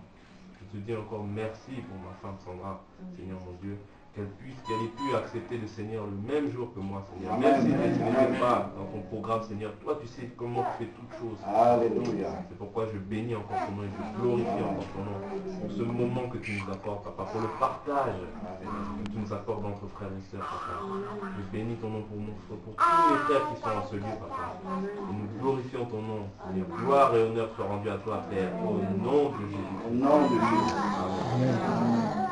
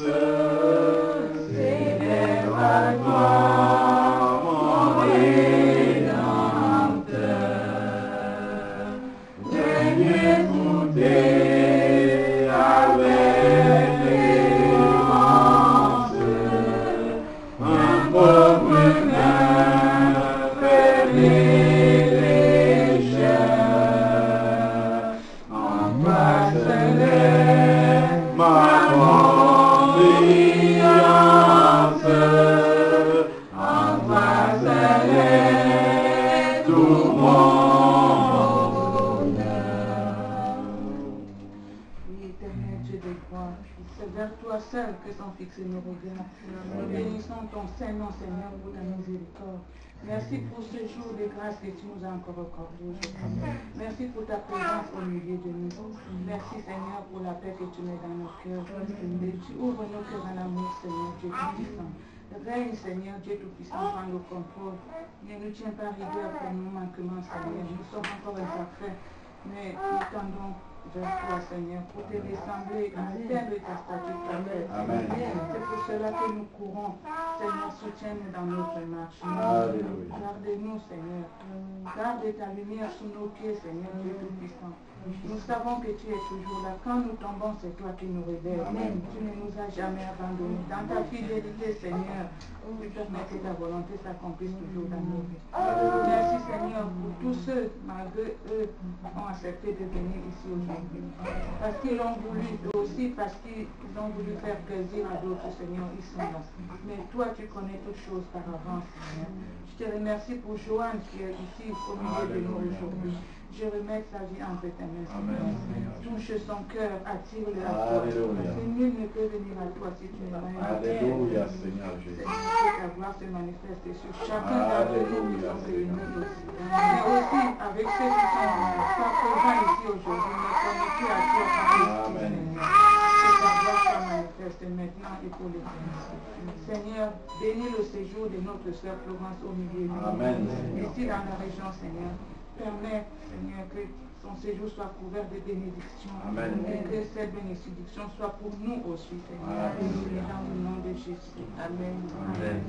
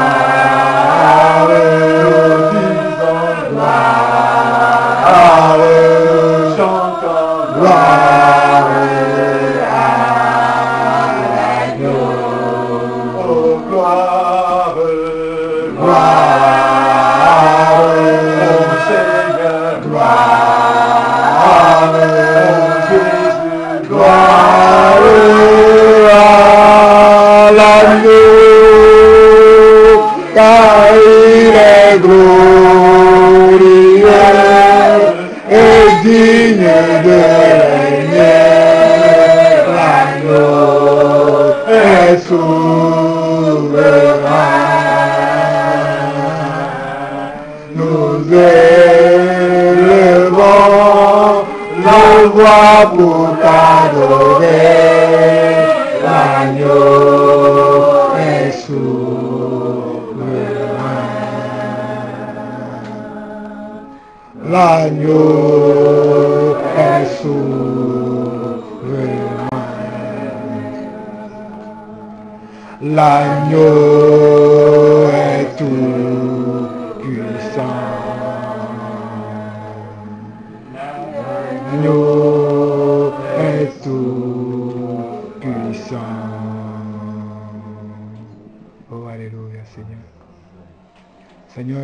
puissant. Seigneur, reçois la gloire. Reçois la louange, Seigneur. Reçois les fruits de nos lèvres qui confessent ta grandeur cet après-midi, Seigneur. Car il t'a plu à toi de sauver chacun d'entre nous, Seigneur Dieu. De nous appeler des ténèbres à ton agréable lumière. De nous amener dans ton royaume car nous étions des brebis égarées. Mais tu es venu chercher chacun d'entre nous. Malgré l'énorme péché qui résidait dans nos vies, tu es venu et tu as tout effacé. Tu es venu et tu as tout purifié. Tu es venu et tu nous as délivrés de la sentence qui devait tomber sur chacun d'entre nous. Aujourd'hui, nous pouvons te glorifier. Aujourd'hui, nous pouvons te louer. Aujourd'hui, nos lèvres peuvent con- confesser ta parole. Gloire à toi, Seigneur. Alléluia. Alléluia. Merci, Seigneur. Merci, Seigneur. Merci, Seigneur. Oh, Alléluia. Merci, Seigneur. Nous pouvons dire que merci, Papa. Oh, merci, Seigneur. Merci pour ta grandeur, Seigneur. Merci pour ta hauteur, Seigneur. Merci pour ta largeur, Seigneur. Merci pour ton amour infini, Seigneur. Tu nous aimes tous les jours, Papa. Tous les jours, tu, demeures avec nous à cause de ton amour, Seigneur. À cause de ton nom qui est invoqué sur nos vies, sur nos familles, sur nos enfants. Oh Père, nous te glorifions, nous t'exaltons, nous t'élevons, Papa. Reçois, Seigneur, la louange. Reçois la louange, Seigneur. Reçois la magnificence, Seigneur. Car tu es seul Dieu, Papa. En dehors de toi, il n'y a point de Dieu, Papa. À part toi, il n'y a point de Dieu, Papa. Oh, en toi seul réside le nom du Tout-Puissant. En toi seul rés- réside la toute-puissance, Seigneur Dieu. Je glorifie ce nom aujourd'hui. Je lève ce nom aujourd'hui. J'amplifie ce nom aujourd'hui. Oh, papa, sois glorifié. Sois élevé, mon Dieu, mon roi. Oh, Seigneur de toutes choses. Le Dieu d'éternité en éternité. Le Dieu des âges en âge. Le Dieu de la préhistoire et de l'histoire. Le Dieu de tout. Le Dieu de l'invisible et du visible le Dieu du touché et de l'intouchable, le Dieu, oh papa, qui est assis au-dessus de toutes choses, qui dit et la chose arrive, qui ordonne et elle existe, papa. Ordonne à nos vies, Seigneur Dieu, afin que nous fuyions définitivement le péché, afin que nous marchions en nouveauté de vie. Car tu es parfait et tu veux que nous soyons parfaits. Que ta perfection nous touche aujourd'hui. Surtout ceux qui sont malades au milieu de nous. Surtout ceux qui sont infimes au milieu de nous. Seigneur, étends ta main sur ton fils qui est Yves aujourd'hui. Étends ta main sur n'importe quelle maladie, n'importe quelle infinité qui est au milieu de nous aujourd'hui. Car nous croyons en toi que tu peux délivrer, que tu peux guérir, que tu peux sauver, papa. Seigneur, même les maladies dont nous ne sommes pas conscients, les maladies qui n'ont pas été encore diagnostiquées dans nos vies, mais toi, diagnostique-les aujourd'hui. Diagnostique-les aujourd'hui. Et éradique-les de nos vies. Éradique-les de nos vies. Oh, purifie nos sangs. Purifie nos sangs, Seigneur Dieu. Certains d'entre nous, nous avons des diabètes. Nous avons des cancers. Oh, toute maladie qui est au milieu de nous aujourd'hui. Éradique-les, papa. Éradique-les, Seigneur Dieu. Éradique-les, Seigneur Dieu. Au nom de Jésus, nous croyons en toi. Au nom de Jésus, nous croyons en toi. Au nom de Jésus, nous croyons en toi. Oh papa, viens faire, viens faire un miracle au milieu de nous, Seigneur. Viens faire un miracle au milieu de nous. Viens guérir les malades nom de Jésus, viens toucher les malades du corps. Viens toucher les corps malades au milieu de nous. Viens toucher les corps malades au milieu de nous, Seigneur. Viens toucher les esprits malades, les âmes malades au milieu de nous. Viens toucher tout homme malade. Tout homme malade au milieu de nous. Viens faire des guérisons au milieu de nous. Oh papa, nous attendons à toi. Viens toucher Seigneur. Viens toucher tout homme malade au milieu de nous. Viens toucher tout homme malade. Viens toucher tout homme qui est fatigué. Oh papa, tu es notre repos. Viens donner le repos au corps aujourd'hui. Viens donner le repos au corps aujourd'hui. Tout corps fatigué au milieu de nous aujourd'hui besoin de ton repos. Oh papa, nous t'appelons. Nous t'appelons. Viens assister ton église. Viens secourir ton église. Viens secourir tes enfants. Viens secourir tes bébés. Au nom de Jésus. Au nom de Jésus. Au nom de Jésus. Secours tes bébés au milieu de nous. Secours tes brebis au milieu de nous. Viens délivrer, papa. Oh, viens délivrer. La marche par l'Esprit, Seigneur. La marche par l'Esprit, Seigneur. Viens secourir, papa. Viens délivrer, Seigneur. Viens ôter le fardeau. Viens changer de cœur. Viens changer de vie. Viens changer de pensée. Oh, papa, renouvelle les esprits. Renouvelle les cœurs. Renouvelle les âmes. Oh, renouvelle les âmes. Renouvelle les âmes. Renouvelle les âmes. Renouvelle les âmes. Renouvelle les âmes. Renouvelle les âmes. Renouvelle les âmes. Au nom de Jésus. Renouvelle les âmes. Renouvelle Au nom de Jésus-Christ. Au nom de Jésus-Christ. Renouvelle les âmes, papa. Renouvelle les âmes au nom de Jésus.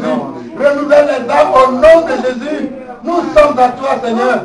Voici tes fils et tes filles, papa. Tout chacun d'entre nous. Tout chacun d'entre nous. Tout chacun d'entre nous aujourd'hui. Nous nous attendons à toi, oh mon Dieu, mon roi. Touche, touche. Viens délivrer. Viens délivrer, papa. Seigneur, il y a des choses dans nos vies que nous ne connaissons pas. Mais toi, tu connais toutes choses, papa. Viens toucher chacun d'entre nous. Viens toucher chacun et chacune, Seigneur. Viens toucher, papa. Viens toucher, Seigneur. Ta main n'est pas trop courte, Seigneur. Ta main n'est pas trop courte, Seigneur. Seigneur, impose tes mains sur les gens. Impose tes mains sur les gens. Impose tes mains sur les malades, oh papa. Oh Seigneur, touche tes Yves aujourd'hui. Ça fait la quatrième fois qu'il est au milieu de nous aujourd'hui. Seigneur, touche-le aujourd'hui. Qu'il ne rentre pas comme il est venu? Qu'il ne rentre pas comme il est venu? Qu'il ne rentre pas comme il est venu? Qu'il ne rentre pas comme il est venu? Qu'il ne rentre pas comme il est venu? Oh Yahweh. Oh Shandarabako Shandarabahai. Seigneur, touche ce monsieur. Touche ce monsieur. C'est toi qui le connais. C'est toi qui le connais. C'est toi qui le connais. Seigneur, que sa main devienne valide. Que sa main devienne valide. Que sa main devienne valide. Que sa main devienne valide. Oh, que son pied devienne valide. Que sa membre devienne valide. Que son ventre devienne valide. Que son cou devienne valide. Que sa tête devienne valide. Que toute activité qui est dans son corps, dans son sang, disparaisse maintenant de son corps. Disparaisse maintenant de son corps. Au nom de Jésus. Au nom de Jésus. Touche, papa. Oh, touche, Seigneur. Touche, touche. Oh, papa, touche. Au nom de Jésus. Au nom de Jésus. Au nom de Jésus. Père, nous nous attendons à toi. Nous nous attendons à toi. Car dans ta parole, tu fais des guérisons instantanées. Mais aussi tu fais des guérisons progressives. Seigneur, nous nous croyons que tu as touché aujourd'hui. Même si nous ne voyons rien, même si nous ne voyons rien, nous pensons que tu as touché. Nous croyons que tu as touché. Et nous nous attendons de recevoir des témoignages. Des témoignages puissants qui vont venir des, des fils et des filles qui sont arrivés aujourd'hui. Père, touche encore. Touche encore, Seigneur Dieu. Touche encore au nom de Jésus, papa. Touche, papa. Toute blessure, toute amertume. Dans le nom de Jésus, s'il te plaît. Dans le nom de Jésus, papa. Viens toucher nos soeurs. Viens toucher toute la vie ici aujourd'hui. Viens guérir. Viens délivrer, papa. Viens toucher, oh mon Dieu. Viens toucher, papa. Viens toucher, Seigneur. Viens toucher, Seigneur. Nous te supplions, papa. Nous te supplions. Viens toucher chacun d'entre nous. Viens toucher chacun d'entre nous. Viens faire des prodiges. Viens faire des miracles. Viens faire des miracles. Oh, Alléluia. Alléluia. Tu es le Dieu des miracles. Tu es le Dieu des miracles. Nous nous attendons en toi.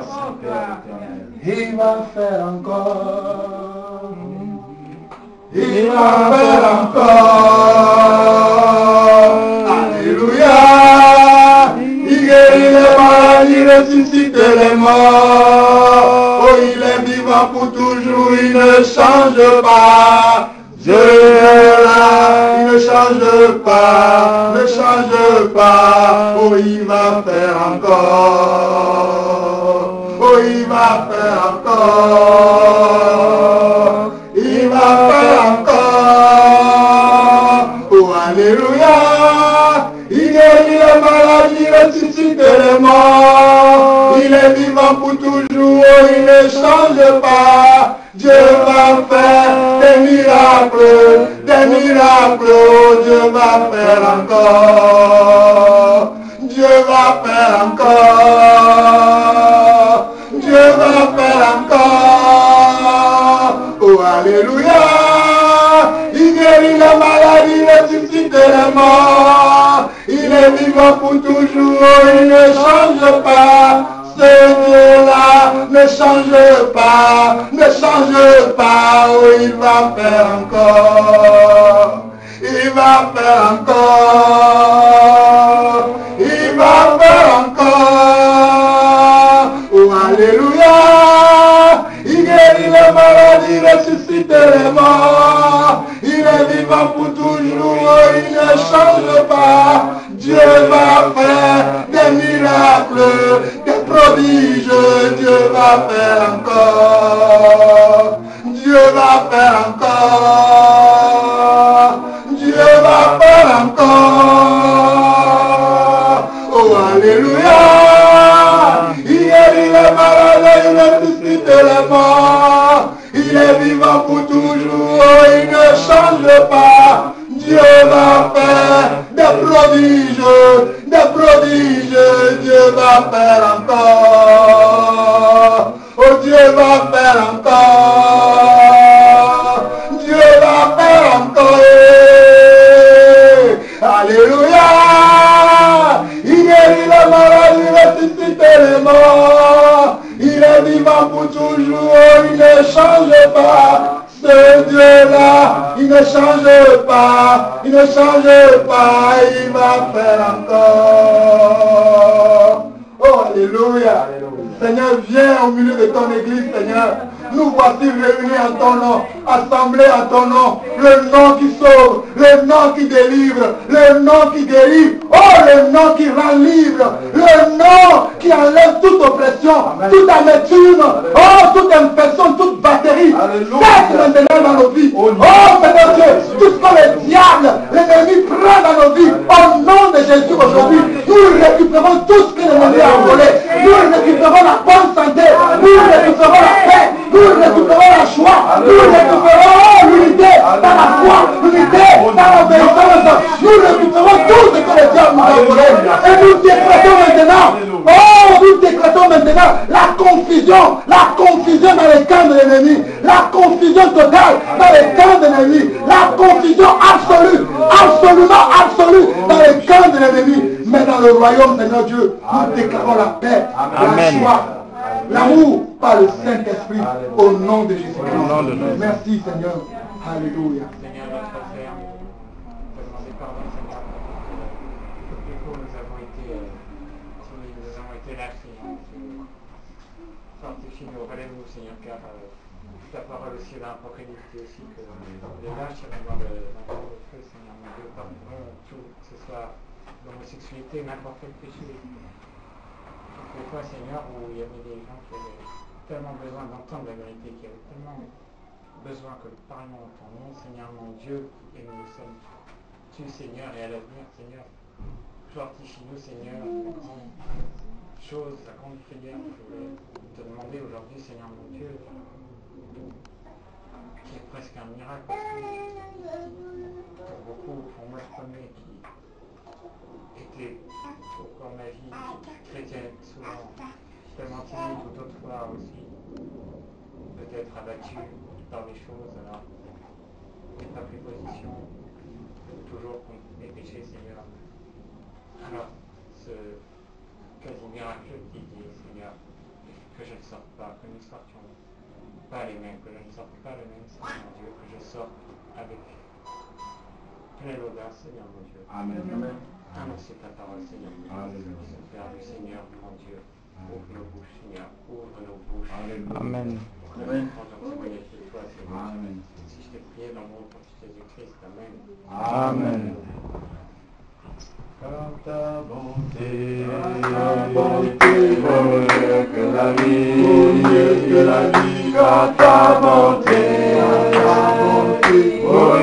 que la vie.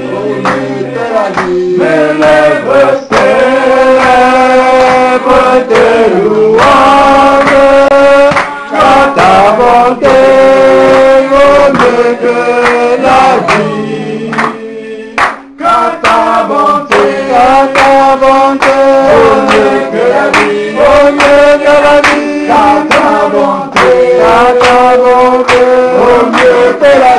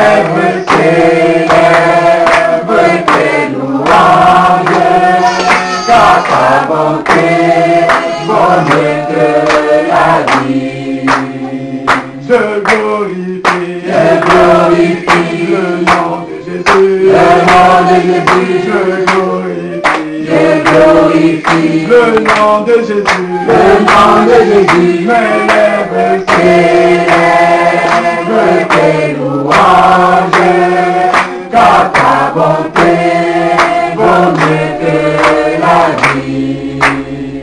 J'abandonne, j'abandonne le péché, le péché, péché, oh le péché, mes lèvres célèbrent tes louanges, car ta bonté, bonne que la vie. Je prépare, je prépare mon cœur son retour, mon cœur prépare, je prépare mon cœur à son retour, mon cœur à son retour. Mes lèvres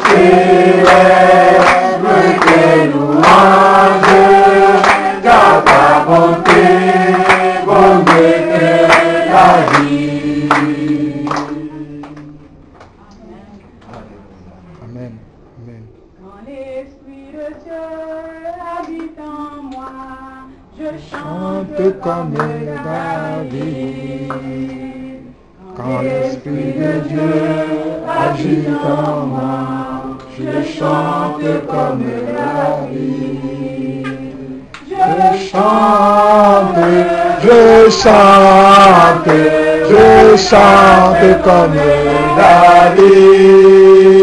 Je chante, je chante, je chante comme David. Quand l'Esprit de Dieu agit en moi, je danse comme David. Quand l'Esprit de Dieu agit en moi, je danse comme David. Je danse, je danse, je chante comme David. Je chante, je chante, je chante comme David. Je l'Esprit de Dieu agit en moi, je loue comme David. Quand l'Esprit de Dieu agit en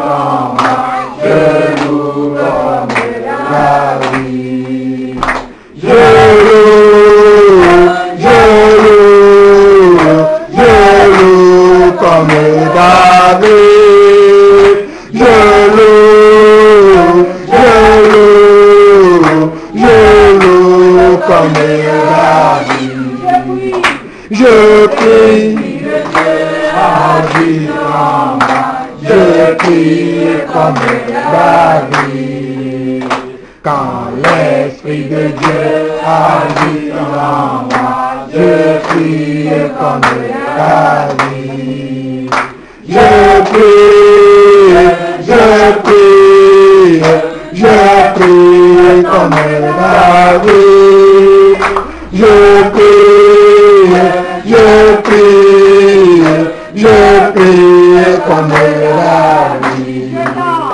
Je l'Esprit de Dieu agit en moi, je danse comme David. Quand l'Esprit de Dieu agit en moi, je danse comme je danse, je danse, je danse comme David. Je danse, je danse, je danse comme David. Dans l'esprit de Dieu agit en moi, je chante comme David.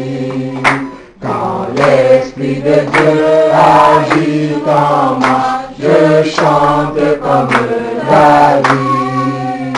Je chante, je chante, je chante comme David. Je chante, je chante, je chante comme David. De Dieu agit en moi, je loue comme David.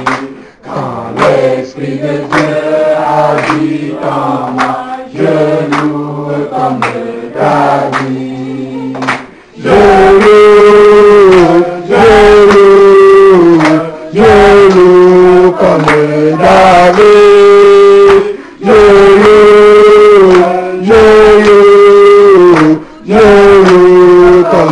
David.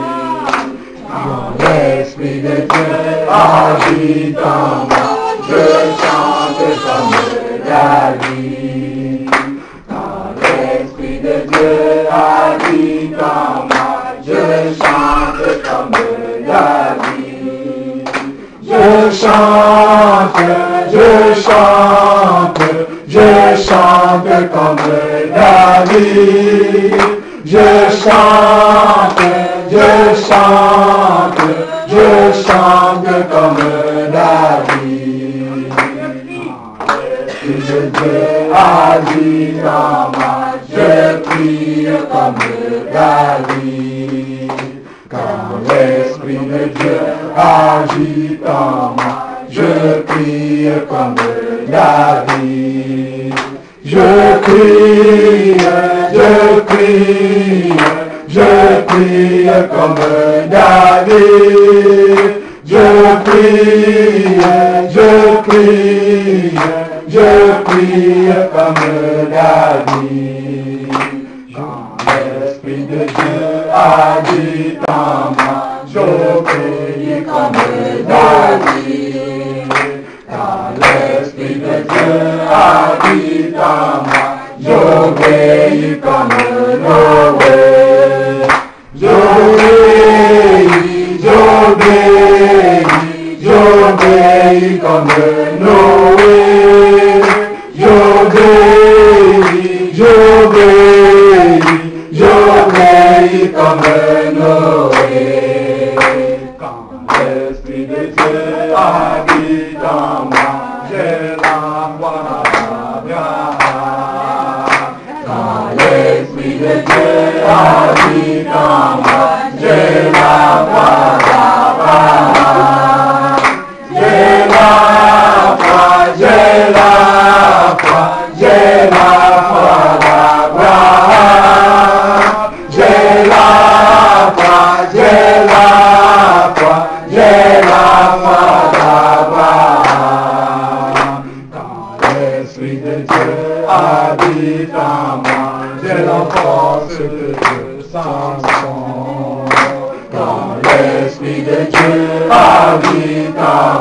J'ai la force de Samson.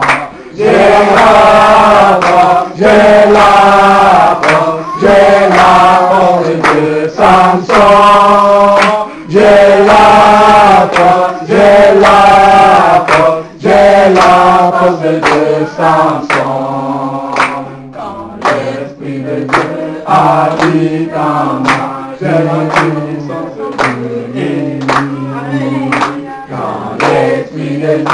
agite en moi, j'ai la puissance.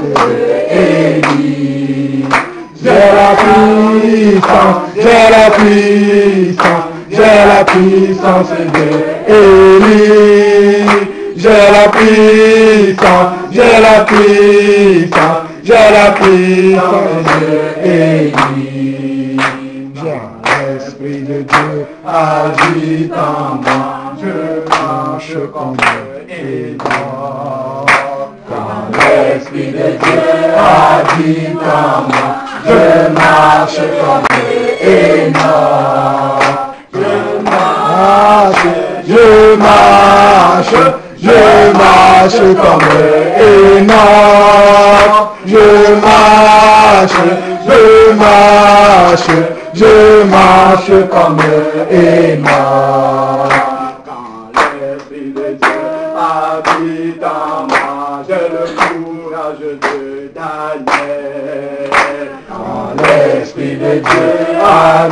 moi, j'ai le courage de Daniel. J'ai le courage, j'ai le courage, j'ai le courage de Daniel. J'ai le courage, j'ai le courage, j'ai le courage de Daniel. Quand l'Esprit de Dieu habite en moi, je parle comme Jésus. Quand l'Esprit de Dieu habite en moi, je parle comme Jésus. Je parle, je parle, je parle comme Jésus. Je parle, je parle, je parle comme Jésus.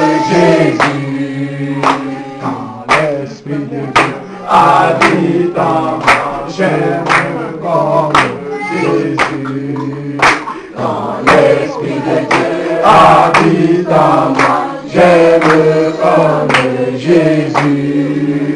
J'aime, j'ai l'amour, j'ai l'amour comme Jésus. J'ai l'amour, j'ai l'amour, j'ai l'amour comme Jésus.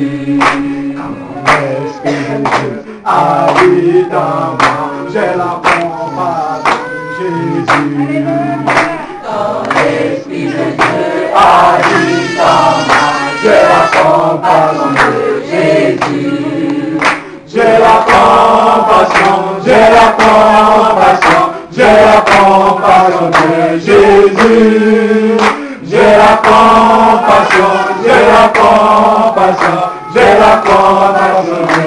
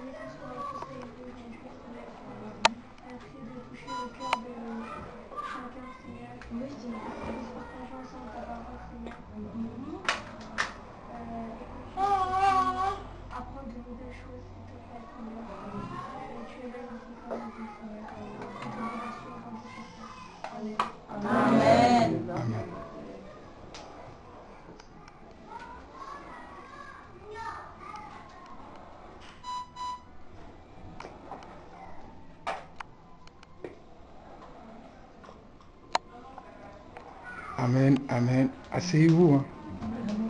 Asseyez-vous. Si quelqu'un a un partage, un témoignage, nous avons la sœur Christine, C'est ça, la sœur Christine.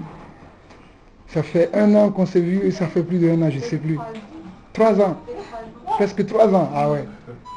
C'est l'une des, des sœurs que j'ai quand j'ai commencé le baptême dans le lac. C'était, je pense que c'était elle la première que j'avais baptisée dans le lac de Torcy. Voilà. Gloire à Dieu.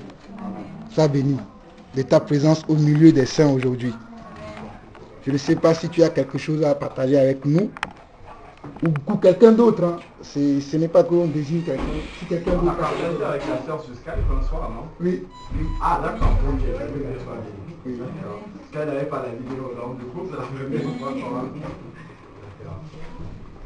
Donc voilà, si quelqu'un a quelque chose à partager, c'est le moment, un témoignage. Euh, tout, tout, tout ce que vous avez à partager, c'est le moment. Que le Seigneur soit béni. Psaume 60. Psaume 75. Quelqu'un peut lire le psaume 75 pour nous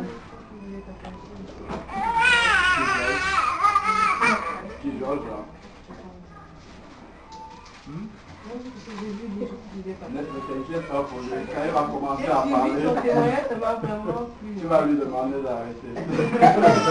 Quand il va parler, ne t'inquiète pas pour lui. Ton message était formidable. Le m'a envoyé. Voilà. Un bon message parce que pas seulement lui, mais même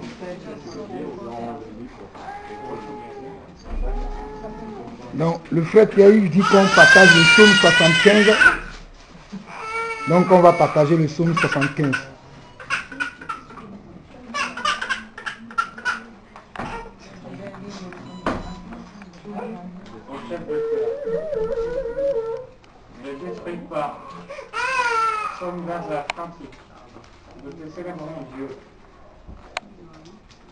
Célébrons. Franche est ton nom, tes actions redoutables. Pourtant que j'aurais fixé, c'est moi qui ai droiture. La terre se fond avec tout ce que C'est moi qui ai fermé ces colonnes. Je dis à ceux qui se vantent, ne vous vantez pas, et aux méchants, n'élevez pas le front. N'élevez pas si haut votre front, ne parlez pas ainsi de courage, car ce n'est ni de l'Orient ni de l'Occident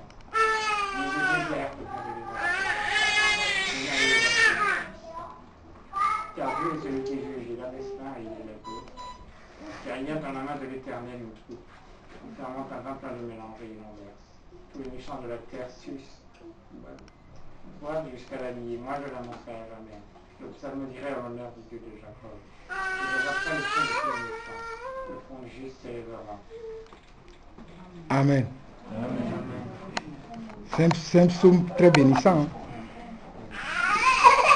Moi j'ai retenu quelque chose, il dit l'élévation ne vient ni de l'Occident, ni de l'Orient, mais ça vient de l'Éternel. En tout cas, c'est pour moi cette parole. C'est Dieu qui va nous élever, ce n'est pas les hommes qui vont nous élever. Là, c'est clair. Donc, attendons l'élévation de Dieu.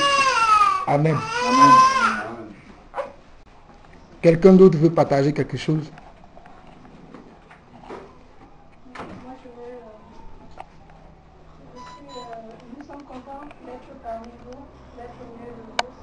Pas manqué. Depuis la dernière fois que le Seigneur, depuis que le Seigneur nous a mis, nous a réunis, m'a donné d'être au milieu de vous. Nous sommes allés de bénédiction en bénédiction. Nous avons grandi. Nous vous avons connus euh, nous étions dans un moment de notre vie, mes filles et moi-même, mes filles qui sont mes sœurs en Christ aussi. Amen. Et moi-même étions dans une phase d'incompréhension, de remise en question, de doute, de forts questionnements. Et le Seigneur, dans sa grâce, comme il nous aime tellement, du haut des cieux, les yeux sont fixés sur son Église, il a posé ses regards sur nous et il nous a conduits vers vous. Vous veniez nous consoler et nous donner de repartir à zéro, de prendre un nouveau départ. Et depuis ce jour-là, nous sommes vraiment dans la joie. Nous avons beaucoup grandi, nous avons beaucoup mûri. Amen. Nous avons fait un travail sur nous-mêmes. Parce qu'après l'échange avec vous, nous on a pris que ce qui était bon pour nous. On a pris nos fautes, on a pris connaissance de nos fautes. Donc on s'est dit là, on a fauté. Ce n'est pas parce que nous avons raison que nous avons le droit d'élever le temps ou de méditer du mal de celui qui nous a fait tort. C'est le Seigneur qui justifie. Amen. Donc après, après, votre exhortation et après votre passage chez nous, parce que le Seigneur nous a vraiment bénis, en vous suscitant pour que vous veniez jusqu'à nous, vous fassiez la distance, pour venir nous voir, vous nous relever. Et nous avons été vraiment richement bénis. Nous avons fait l'effort d'abandonner tous les reproches que vous nous avez apportés. Ça a été constructif. Nous avons pris note. Et nous avons mis en pratique. Aujourd'hui, nous sommes des nouvelles personnes, des nouvelles créatures. Amen. Et le Seigneur, dans sa grâce, nous a donné de comprendre que ce n'est pas parce qu'on a raison, suite à un différent, nous allons monter sur nos grands chevaux et parler aux gens n'importe comment. Amen. Le Seigneur dit que nous ayons l'amour pour nous, c'est ce que le Seigneur nous a fait comprendre. Parce que moi surtout, je croyais que si j'ai tort, allez, le temps, je dis ce que je pense, je crie très fort. Et le Seigneur, par vous, m'a donné de comprendre que non, c'est faux. J'ai pris note, j'ai pris conscience. Je cite que ça, il y avait plein d'autres choses. Et je vais vous dire aussi à vous que le Seigneur suscite pour nous apporter sa parole. Tout ce que vous nous avez dit, nous avons pris en compte. Pour que cela vous fortifie aussi. Que vous n'apportez pas la parole de Dieu en vain. Et je vous remercie infiniment. L'été dernier, en cette même période, nous étions ici à Paris, mais dans une autre famille chrétienne. Et cet été, nous sommes encore à Paris, toujours dans la famille chrétienne. Et je bénis vraiment le Seigneur pour ça. Donc, euh, nous habitons à Lyon. Le Seigneur nous a sortis de l'église. Nous ne connaissons pas grand monde à Lyon. Nous sommes trois pour l'instant à marcher dans la communion fraternelle, à échanger. Euh, voilà mes deux filles qui sont là. Moi, je ne prends pas l'autorité spirituelle sur elles parce que je me dis j'étais comme elles. Mais je leur apporte la parole telle qu'elle est. Et je laisse le Seigneur accomplir son œuvre parfaite et merveilleuse dans leur cœur et dans leur vie. Amen. Voilà, c'est une joie. Je suis euh, chez la sœur qui, euh, qui m'a accueilli. Je suis dans la joie de que les frères nous ont emmenés ici dans cette maison aujourd'hui pour partager la communion fraternelle. Je suis encore pleinement dans la joie de voir la sœur Christine parmi nous, parce que l'année dernière, j'ai fait sa connaissance dans le cadre de la marche avec le Seigneur. Et aujourd'hui encore, on se retrouve dans ce même cadre. Voilà, nous sommes heureux d'être parmi nous. Amen. Amen. Amen. En tout cas, tous bienvenue. Hein. Nous savons que vous étiez loin, mais vous étiez dans nos, dans nos cœurs. Amen. Ce n'est que l'accomplissement de ce que nous avons dans le cœur qui s'accomplit aujourd'hui. Donc, merci pour notre maman Ruth qui vous accueille. On espère que tout se passera très bien là-bas, on la connaît. Elle, prend soin, elle va prendre soin de vous jusqu'à ce que vous partiez. Donc que Dieu soit béni. Amen. Amen. Je ne sais pas si quelqu'un d'autre veut parler. L'Église a toujours peur de parler. Parlez, hein. Moi, je vais prendre la parole. Quand je vais prendre après ça. Ah, donc... C'est maintenant ou à 21h. si les gens ne veulent pas prendre la parole. C'est pour ça que...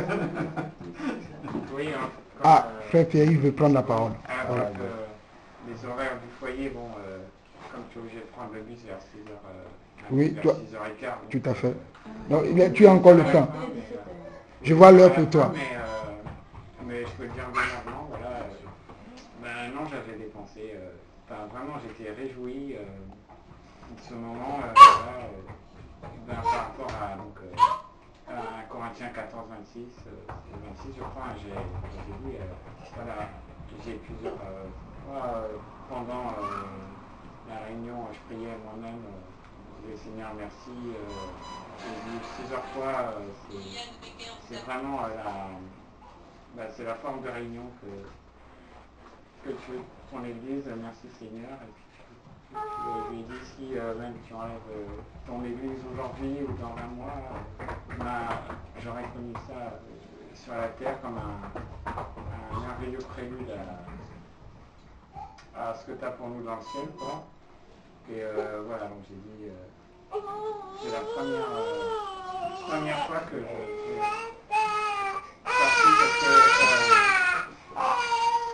deux fois précédentes, euh, en tout cas, moi, j'avais pas encore l'habitude de, de, ce genre de culte où on peut intervenir euh, en respectant l'ordre, bien sûr, mais voilà. Donc c'est la première fois que je, à un culte comme ça. Et euh, voilà, donc vraiment, c'était super. Et puis, je peux raccrocher ce Et quand on donc quand après on a chanté euh, le cantique, après qu'on a changé euh, quand l'Esprit de Dieu avec moi, bon au début quand Alain Patrick est parti sur nous, bien sûr je ne m'attendais pas. Et après, bon c'était pas exactement les les mêmes paroles, mais c'était le même personnage. Quoi. Quand il est parti sur Abraham, justement, dans mon cœur je partais sur Abraham, après euh, Samson pareil, après il y a eu, je crois, Enoch là, non, et puis après encore un,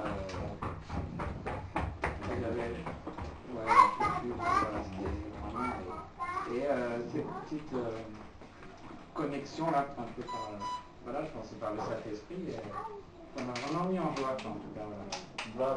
Amen. Amen. Amen.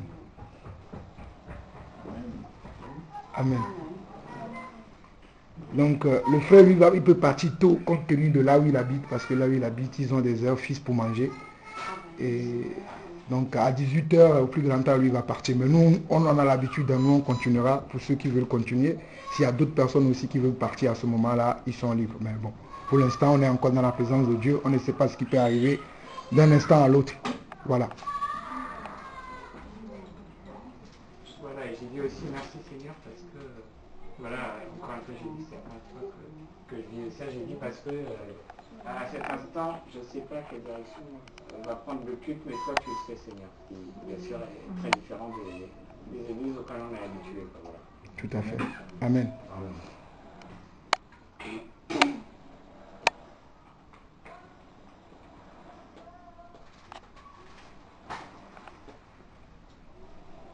Si je peux juste te dire quelque chose.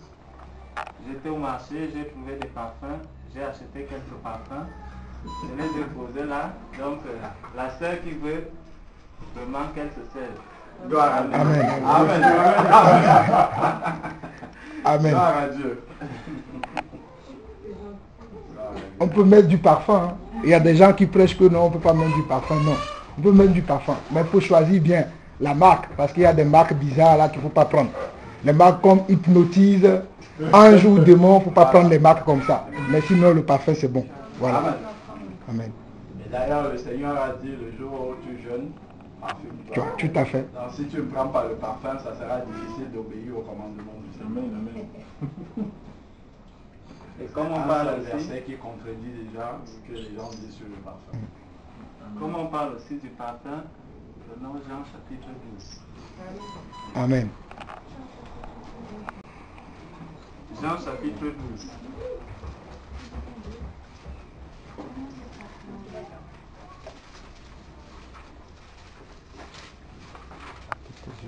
entendu.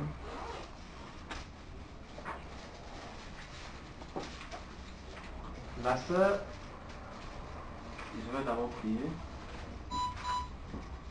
Seigneur, nous voulons te rendre grâce et te dire merci pour ce moment. Père, nous savons que tu es au milieu de nous, parce que tu sièges au milieu des saints. Père, voici les saints rassemblés à cet endroit. Nous avons foi, Père, que tu es là et que tu agis en toutes choses. Père, glorifie ton Saint-Nom au milieu de nous, au nom de Jésus. Amen. Amen. Je vais être très court, très bref. La sœur Matata, tout à l'heure, elle a dit quelque chose euh, parlant de Joanne et elle disait que le hasard n'est pas dans le royaume de Dieu. Le Seigneur ne fait rien par hasard. Nous pouvons penser que lorsque nous nous assemblons avec nos bien-aimés, un événement va se produire par hasard. Ce n'est pas vrai. Lorsque nous avons foi au Seigneur et que nous nous disons que nous nous rassemblons au nom de Jésus, rien ne va encore se passer par hasard. Même si vous voyez un enfant assis par terre, le Seigneur a prévu qu'à cet instant précis, l'enfant devait être assis là. Et cet enfant a un rôle bien précis qu'il est en train de jouer. De la même manière, le Seigneur va utiliser cet enfant pour que sa gloire se manifeste au milieu des saints. C'est comme ça aussi que Satan cherchera également à détourner les saints seulement au travers de cet enfant. Parce que imaginez un seul instant, l'enfant arrive, il commence à faire du bruit, il commence à troubler dans l'assemblée. Beaucoup de personnes vont être distraites, beaucoup de personnes vont se tourner vers les cris de l'enfant et tout, et ça, ça va perturber l'esprit. Par contre, ceux qui sont là tout autour, qui ont l'esprit de Dieu, vont également être alertés en se disant que mais pourquoi un enfant peut pleurer autant alors qu'il y a des saints?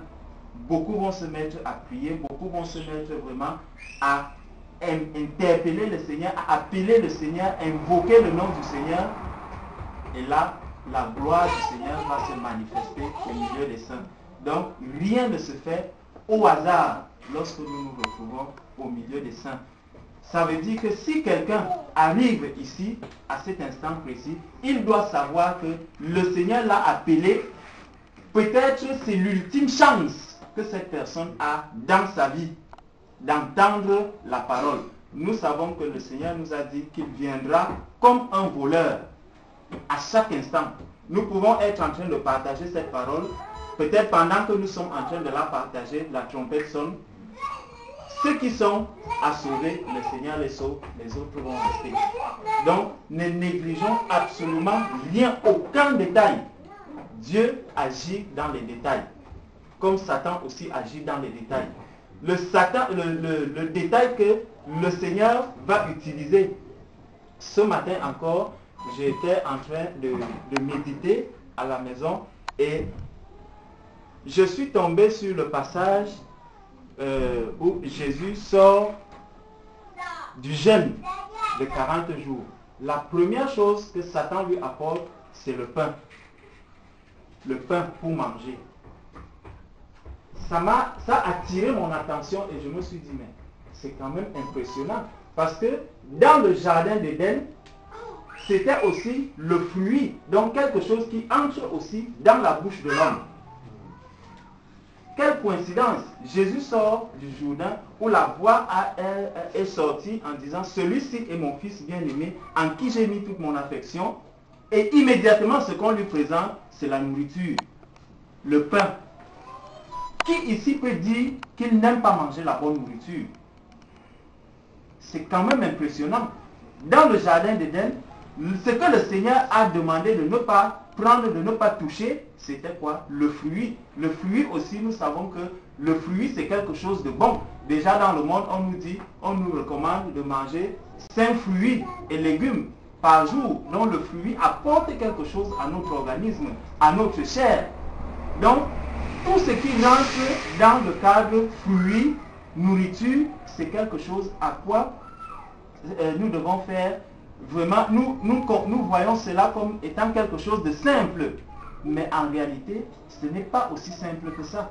Parce que si Satan a utilisé cet instrument en premier lieu pour présenter euh, euh, à Jésus, pour faire tomber le Seigneur Jésus, et avec l'esprit et avec la, euh, étant donné que lui, il connaissait tout ce qui devait se passer, il a pu sortir de là infaillible, il n'a jamais failli en quoi que ce soit, mais c'était la première chose, c'était la nourriture.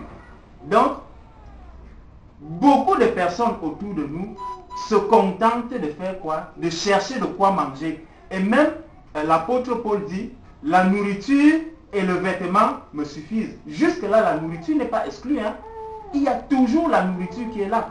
Pourtant, nous voyons que lorsque les enfants de Dieu veulent davantage se rapprocher du Seigneur, qu'est-ce que nous faisons? Nous jeûnons.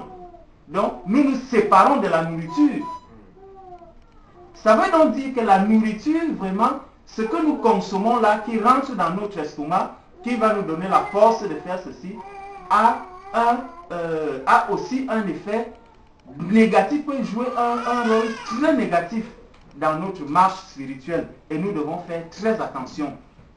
Quand vous regardez un peu les, grandes fêtes, lors des grandes manifestations, on va chercher quoi? On va chercher la bonne nourriture. La bonne nourriture, on va chercher à la porter au milieu des, enfants de Dieu. On va euh, les, inviter. On va dire, oh la table, elle est garnie. Ceci, on va chercher un bon porc. On va chercher ceci, un bon michui. En tout cas, les noms sont variés mais tout ça c'est la nourriture. Et Satan utilise aussi la même nourriture pour faire tomber les enfants de Dieu. Et le Seigneur nous a demandé de faire attention aux excès de table. Tout ça, ce n'est pas rien, ce n'est pas anodin. Et donc, aujourd'hui, les hommes sont engagés dans le travail, tu dis à quelqu'un, non, je dois, il faut quand même que je, donne, je trouve à manger à ma famille, il faut que ma famille puisse manger, il faut que mes enfants mangent, il faut que mon épouse mange, il faut que moi-même je mange, partout je dois chercher de quoi manger. Ça, ça m'a interpellé. La deuxième chose que Satan utilise, c'est quoi? C'est la gloire. Chacun cherche à avoir la gloire, chacun cherche à avoir tout le monde parce que ce que Satan euh, a présenté, c'est que si tu te prosternes devant moi, je vais te donner tout ça. Donc, je vais te donner des belles maisons, je vais te donner des grosses voitures, je vais te donner ceci. Et dans le monde aujourd'hui, il y a ces deux choses qui empêchent les créatures de Dieu à se rapprocher du Seigneur. Beaucoup de personnes vont vous dire, oh, je travaille trop actuellement, je n'ai même pas le temps de méditer parce qu'il faut que je puisse nourrir ma famille qui est nombreuse. Donc, le, petit salaire que j'ai ne me permet pas de joindre les deux bouts. Donc, il me faut trouver un autre travail pour pouvoir nourrir ma famille. Faisons très attention. Satan utilise la nourriture.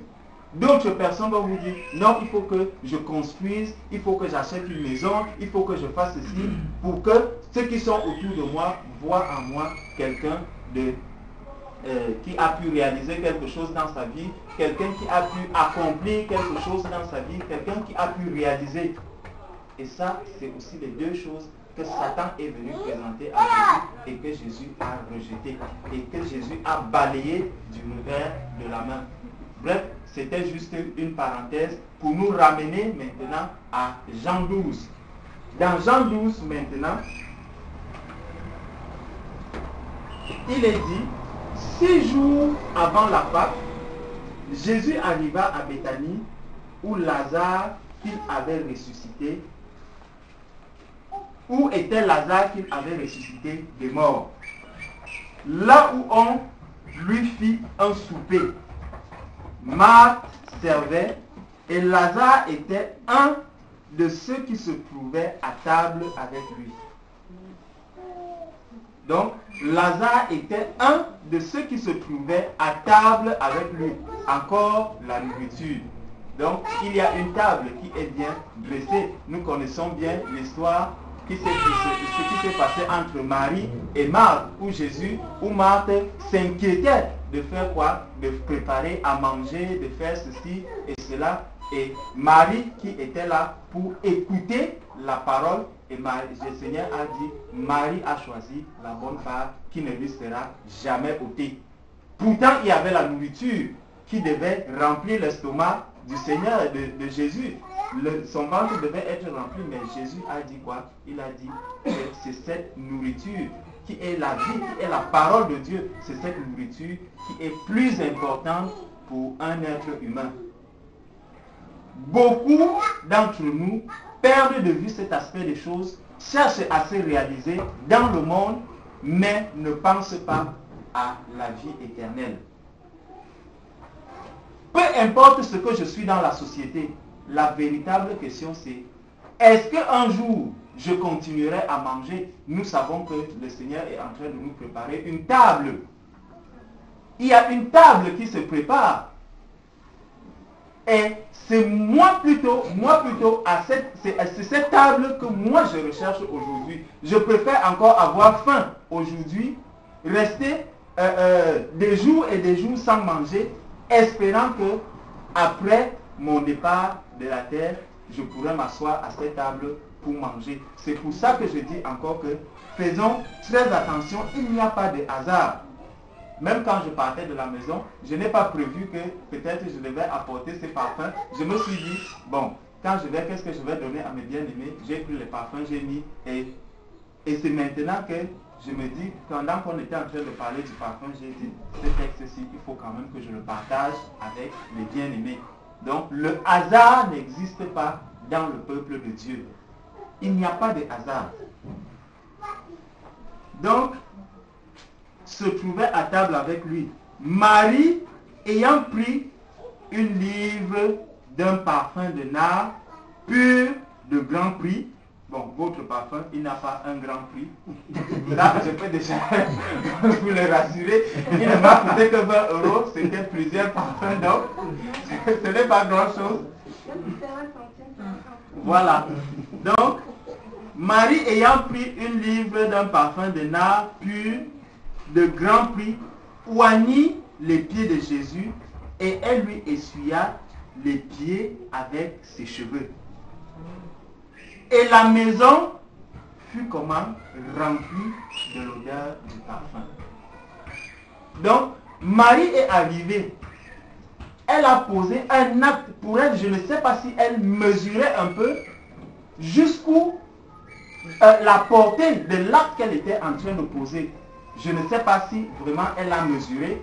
Elle a pris, elle a pris le parfum. Ce n'est pas sur la tête Seigneur qu'elle a versé. Ce n'est pas sur le corps. Elle a versé sur les pieds. C'est sur les pieds qu'elle a versé le parfum. Regardez un peu l'impact que ce parfum qui a été versé au niveau des pieds. Nous savons que les pieds, c'est l'une des, l'une des parties les plus sales parce que quand je vais marcher, même ayant des chaussures, je vous assure, si je mets les chaussures fermées, quand j'enlève ces chaussures, après une journée, vous allez sentir l'odeur. Ça, c'est l'odeur qu'il y a dans mes pieds.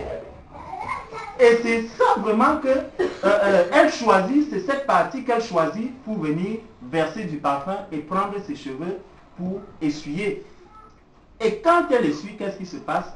La maison fut remplie de l'odeur du parfum seulement parce qu'elle a mis ce parfum sur ses parties sales. Et quand je lisais cette partie, directement, je revois un peu le Seigneur qui nous dit que nos prières montent jusqu'à lui et sont reçues dans une coupe et dégagent un parfum de bonne odeur. Regardons un peu le rapport qu'il peut y avoir entre simplement une prière que quelqu'un élève, je lève une prière, cette prière arrive devant le Seigneur et elle a un parfum, elle donne une odeur, donc elle dégage une odeur. Et il nous dit ici que seulement ce parfum qui a été versé sur ses pieds, c'est toute la maison qui a été remplie par cette odeur. Lorsque je reviens à ce que la sœur disait en disant que la présence de Joanne, son fils, n'est pas un hasard. La sœur prie. Lorsqu'elle prie, elle lève la voix vers le Seigneur. Le Seigneur reçoit ce parfum. Ce parfum remplit toute la maison. Tous ceux qui sont dans la maison sont remplis par cette odeur. Parce que si la maison-ci est remplie de, du parfum, d'une bonne odeur, si je me place à côté de Jean-Paul, je ne pourrais plus sentir la véritable odeur qui dégage du corps de Jean-Paul. Pourquoi? Parce que c'est l'odeur, l'air qu'il y a dans la maison qui en qui l'entoure et c'est cette odeur que je vais ressentir. Donc, même les enfants, c'est pour ça aussi même les, les personnes qui vont se retrouver dans la maison de quelqu'un qui croit en Dieu, qui élève la voix vers le Seigneur, qui prie le Seigneur, ce parfum, ces prières montent devant le Seigneur comme un parfum. Le Seigneur ne va pas limiter sa prière, euh, ce parfum, l'odeur de ce parfum uniquement autour de la personne, mais toute la maison. C'est pour ça que quand nous lisons même la parole de Dieu, le Seigneur nous dit que le mari peut-être qui est mari, qui est non converti peut être sanctifié par la, euh, la femme qui est sanctifiée. Parce que les prières qu'elle va élever ne vont pas s'arrêter autour d'elle, mais elles vont embobiner toute la maison, toutes les personnes qui sont dans la maison. Il y a donc des grâces que nous allons bénéficier simplement d'une prière que un saint a élevée. Et quand je vais voir ma marche, je verrai des choses se réaliser dans ma vie, je pourrais me demander, mais pourquoi est-ce que je devrais croire en Dieu alors que dans ma vie tout marche bien? Alors que je suis en sécurité, j'ai une maison, j'ai un endroit où je peux dormir en paix, il n'y a pas le tsunami qui est arrivé chez moi, il n'y a pas ceci, les braqueurs ne sont pas arrivés, je n'ai pas... Je ne mesure pas la portée des prières que la personne qui est à côté de moi effectue tous les jours. Je me contente simplement de la grâce qui tombe, de la bénédiction qui tombe, de la grâce qui tombe, ne sachant pas que, en réalité, si je me mets en dehors de cette personne, si je sors maintenant, si ici, dans cette maison, la maison est pleine de parfums, et que tu te mets maintenant à l'extérieur où il n'y a plus ce parfum, on saura, on connaîtra exactement quelle odeur est-ce que tu es en train de dégager en ce temps. Donc, lorsque nous sommes dans la présence de quelqu'un qui prie, de quelqu'un qui croit en Dieu, de quelqu'un qui élève la voix devant le Seigneur, nous avons euh, euh, ce devoir, nous aussi, de nous examiner. Est-ce que vraiment la grâce que je reçois n'est pas le fruit de, des prières qui sont élevées à ma gauche ou à ma droite? Parce que quand on regarde un peu, même dans la religion, vous allez constater que beaucoup d'enfants, peut-être de pasteurs, sont pires, sont beaucoup, sont beaucoup dans la rébellion. Il y a plusieurs qui sont dans la rébellion. Beaucoup renient complètement le Seigneur. Mais ils se disent que non, tout va bien. Le père prie pour ma santé, le père prie pour ma paix, le, euh, maman prie pour telle chose, papa prie pour telle chose. J'avance, j'avance et ça, Satan aussi profite. Satan profite de tout, de tout cela pour davantage m'enfoncer, pour davantage m'induire en erreur afin que je perde vraiment afin que, afin que je perde vraiment le, le salut que je devrais avoir. Et celui qui vraiment va se mettre à chercher la face du Seigneur, celui qui va se mettre à se poser la question, est-ce que le fait que ma mère, si un seul instant, ma mère part aujourd'hui, si le Seigneur appelle ma mère, comment est-ce que je resterai vivre? Est-ce que cette maison qui est fréquentée par des enfants de Dieu, cette maison qui de temps en temps reçoit les- les- les- l'Esprit de Dieu, qui, qui- qui reçoit les saints, est-ce que cette maison pourra encore recevoir ces saints? Nous devons nous poser ces questions. Beaucoup de personnes vont se dire, ah, moi ça c'est pas important. Peut-être si maman reçoit des saints, ça ça ne me dérange pas, je, je peux vivre sans ces personnes. Mais on se trompe. Il y a une grâce que le Seigneur dépose partout où il y a son enfant. Partout où il y a un de ses enfants, le Seigneur veille sur cette personne. Et il ne peut pas permettre que qu'il y ait une, certaine, le Seigneur dit que quand bien même nous allons nous retrouver dans une épreuve, il nous donnera aussi les moyens de sortir de cette épreuve. Cette épreuve peut être qui Ça peut être mes enfants. Mes enfants peuvent m'amener vraiment à, à être triste, à être vraiment affligé. Or, moi en moi, le Seigneur me donne toujours la paix. Le Seigneur va toujours, au travers de sa parole, me dire que voici ma fille, ne t'inquiète pas, je fais toi ton corps et si je fais telle, telle chose pour telle personne, c'est parce que je veux que cette personne aussi puisse me rencontrer, qu'elle puisse aussi être sauvée. Tu ne, le, salut n'est pas dépendant, comme on le dit souvent, le salut n'est pas, il ne, peut pas avoir, euh, ce n'est pas parce que ma mère est sauvée que forcément moi aussi je suis sauvé. Non, c'est faux. Si ma mère est déjà sauvée, il faut que moi aussi je vienne vers le Seigneur, que je cherche la face du Seigneur afin que moi aussi je sois sauvé. Ma maman va nous, préparer à manger, elle va nous donner à manger, mais il y aura même des jours où la soeur pourra faire à manger, où elle ne va pas manger. Pourquoi? Parce qu'elle est en train de gêner. Mais vous, nous qui sommes autour, nous allons nous asseoir à table, manger, boire, alors qu'elle, elle sera en train de mettre les genoux à terre, de prier, de lever les mains vers le Seigneur en disant, Seigneur, regarde ma famille, ma famille n'est pas encore convertie. Il y a beaucoup de sœurs, beaucoup de frères qui sont dans cette situation. Je dirais même nous tous, parce que nous prions beaucoup pour les membres de nos familles qui n'ont pas encore obtenu le salut. Mais beaucoup d'entre eux, quand celui-là va tomber malade, tu le verras, tu diras, ouais, si vraiment celui-ci était converti, il pouvait prier. Mais comme il ne peut pas prier, qu'est-ce que je vais faire? Il faut que je prenne de l'argent, je lui donne, je lui dis, va à l'hôpital. C'est une grâce que tu obtiens encore aujourd'hui. Mais si le Seigneur enlève son église, moi qui te donnais l'argent, tu vas continuer à vivre comment? Est-ce que nous nous posons ces questions? Nous qui refusons de venir au Seigneur, est-ce que nous nous posons ces questions? Imagine-toi un seul instant, tu enlèves, tu te dis aujourd'hui, je vais un peu faire comme si telle personne n'existait plus. Cette, personne qui était, qui croyait en Dieu. J'imagine un seul instant, euh, euh, moi je ne suis plus à l'intérieur euh, dans, dans ce milieu. Comment est-ce que ceux qui sont autour de moi, qui ne sont pas convertis, vont rester vivre? Je ne dis pas que c'est moi qui leur donne la vie, que c'est moi qui leur fais ceci. Mais le simple fait que le chrétien s'agenouille, il se prosterne devant le Seigneur, il invoque le nom du Seigneur, il lève les yeux vers le Seigneur, le secours lui vient de ce Seigneur. Ce secours-là remplit toute la maison et tous ceux qui sont dans la maison bénéficient de ce secours comme ce parfum qui remplit ce parfum dont l'odeur remplit toute la maison. Donc, faisons très très très attention lorsque nous sommes avec, en présence des personnes converties.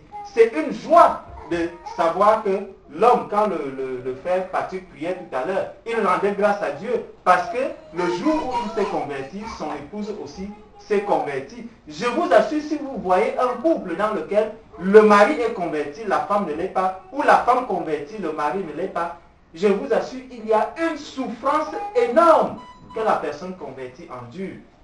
Parce que tu vas prier peut-être plus que l'autre frère ou l'autre sœur qui est aussi, euh, euh, qui est aussi euh, converti comme toi, mais dont le, conjoint est converti. Tu vas passer le temps à pleurer, à souffrir. Ta joie même au milieu des saints, elle ne sera pas parfaite.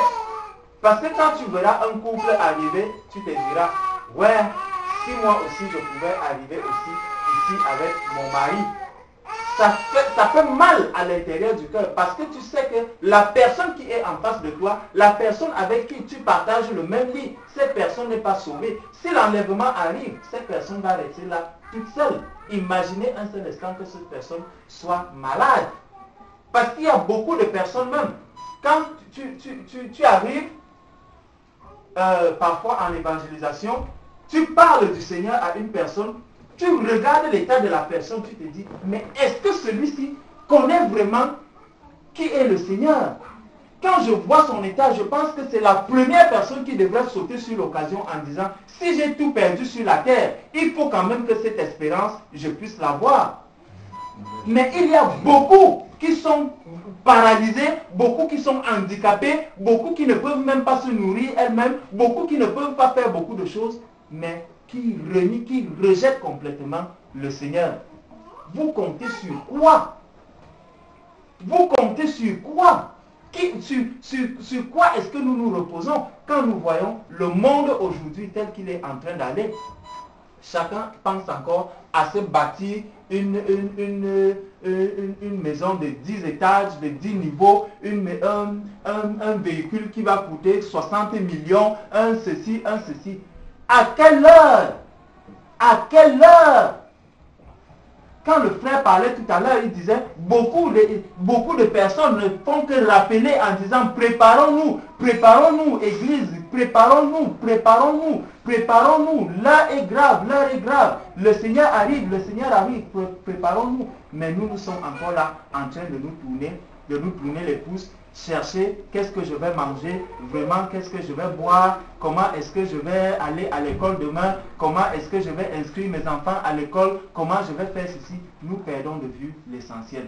Satan veut nous troubler, Satan veut nous perdre, Satan veut nous distraire. Mes frères mes sœurs, ne perdons pas le temps à ces choses. Laissons ces choses à ceux qui veulent les recevoir. Nous, aujourd'hui, qui entendons cette parole, faisons attention le Seigneur est à la porte. Il ne faudrait pas que lorsqu'il va arriver, que l'on soit comme des vierges folles qui vont en ce moment commencer à chercher de l'huile. Non, il faudrait que les enfants de Dieu, ceux qui voient autour de quelqu'un s'agenouiller pour élever la voix vers le Seigneur, pour prier Dieu, faisons attention. Mon frère, fais attention. Quand maman se prie, quand maman se plie à quatre, pour élever la voix vers le Seigneur. Elle prie pour vous. Ça lui fait mal. Je ne suis pas sûr que ma soeur peut être contente de voir autour d'elle que c'est elle seule qui est convertie avec tous ses enfants inconvertis, qui ne pensent même pas au Seigneur, qui ne pensent même pas à Jésus. Vous pensez vraiment qu'elle est, qu'elle n'a pas le discernement là où elle est là? Vous pensez vraiment qu'elle ne sait pas ce qu'elle est en train de faire? Le Seigneur dit, montre à ton enfant le chemin qu'il va suivre afin qu'il ne s'en détourne pas. Mais si elle t'a déjà montré ce chemin et que tu ne veux pas le suivre, tu es responsable de ce qui va t'arriver.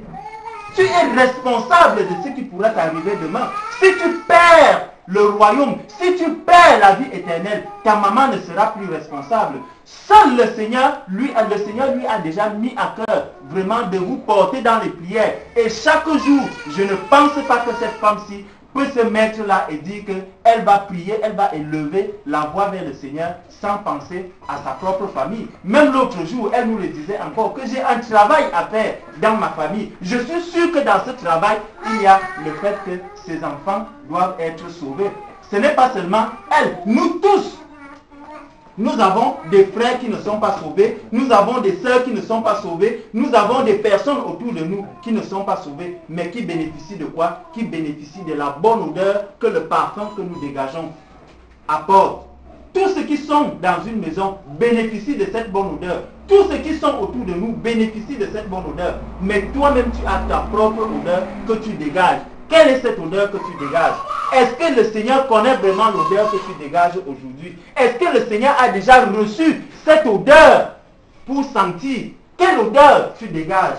Toi qui es euh, euh, euh, le fils, la, fille ou le, mari ou le cousin ou la cousine de celui-là qui élève la voix vers le Seigneur. Est-ce que tu connais la propre odeur que tu as? Ou alors est-ce que tu profites, tu profites de l'odeur qui se dégage de ce parfum que ma soeur ou mon frère verse chaque jour au pied du Seigneur. Le Seigneur nous appelle vraiment chacun à se préparer. Ce grand jour, mes frères, mes soeurs, ce jour est terrible. Ce jour est terrible. Là où ce jour, là où cet événement va te retrouver, je t'assure, même les yeux, tu n'auras pas de larmes pour pleurer. C'est peut-être le sang qui va couler de tes yeux. Parce que tu vas voir tout ce que tu vas perdre. Ça, sera peut-être un avion qui va se battre sur ta propre maison, la maison où tu avais. Imagine un seul instant qu'il y ait un avion là au-dessus de la tête et que euh, le pilote de cet avion soit enlevé. Si l'avion dégringole à cet endroit, tu ne pourras plus vivre. Donc seulement la maison, tu vas la perdre. Cette nourriture même que tu cherchais, tu vas la perdre. Si ça tombe dans une banque où, où il y a le serveur central, tout ce qu'il y a là-dedans comme argent est foutu parce qu'on pourra répartir cet argent comment? On saura encore que qui avait quoi. Ça ne pourra, ça sera terrible, c'est une catastrophe que le monde n'imagine pas. Ceux qui n'ont pas les, yeux pour voir ces choses, ceux qui n'ont pas l'esprit pour l'esprit de discernement pour comprendre la gravité de ce qui pourra se passer ce jour, vraiment ça fait mal. Ça fait mal qu'autour de nous, il y ait nos frères, nos sœurs, nous crions chaque jour. Nous voyons comment d'autres entendent cette parole. Cette parole les touche, mais ceux qui sont plus proches de nous, ceux qui sont euh, autour de nous, ceux avec qui on parle de cette parole, la néglige. Je vous assure, ça fait mal. Ça fait mal. Parfois, tu as envie de pleurer. Tu as envie de pleurer, tu passes la nuit à prier, prier, prier, prier pour cette famille. Tu n'entends même pas quelqu'un qui t'appelle pour te dire que vraiment ce message que tu m'as envoyé ou cette parole, je l'ai reçu, ça m'a touché. Mais les gens continuent à manger, les gens continuent à boire, à s'asseoir à table, euh, faire des bonnes fêtes, euh, suivre de la bonne musique, euh, bien s'habiller, bien chercher le, luxe de demain, faire ceci. Mais est-ce que nous voyons ce qui arrive? Est-ce que nous voyons ce qui arrive? Lorsque Jésus a commencé son ministère, il a dit, car le royaume des cieux est proche. Combien de fois aujourd'hui le royaume des cieux est proche? Il y a une table que le Seigneur nous prépare. Pourquoi est-ce que nous ne devons pas faire ces sacrifices-là aujourd'hui? Mais dire non, moi j'accepte perdre tout sur cette terre. Même si le monde me, prend pour un fou, même si le monde me prend pour quoi, ce n'est pas là le problème. Pourvu que mon Seigneur, lui, il ne me voit pas, il ne me prenne pas pour un fou. Lorsque le frère partageait tout à l'heure, il disait que ces personnes, en, fait, sont devenues folles. Elles ont perdu le sens, elles ont perdu la raison. C'est plus grave encore lorsque devant le Seigneur, tu as perdu la raison.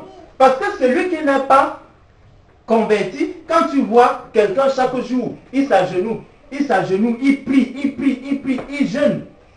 Toi, tu es là, tu trouves que, ah, oh, ça c'est des histoires passées, ça c'est ceci. Tu as perdu la raison.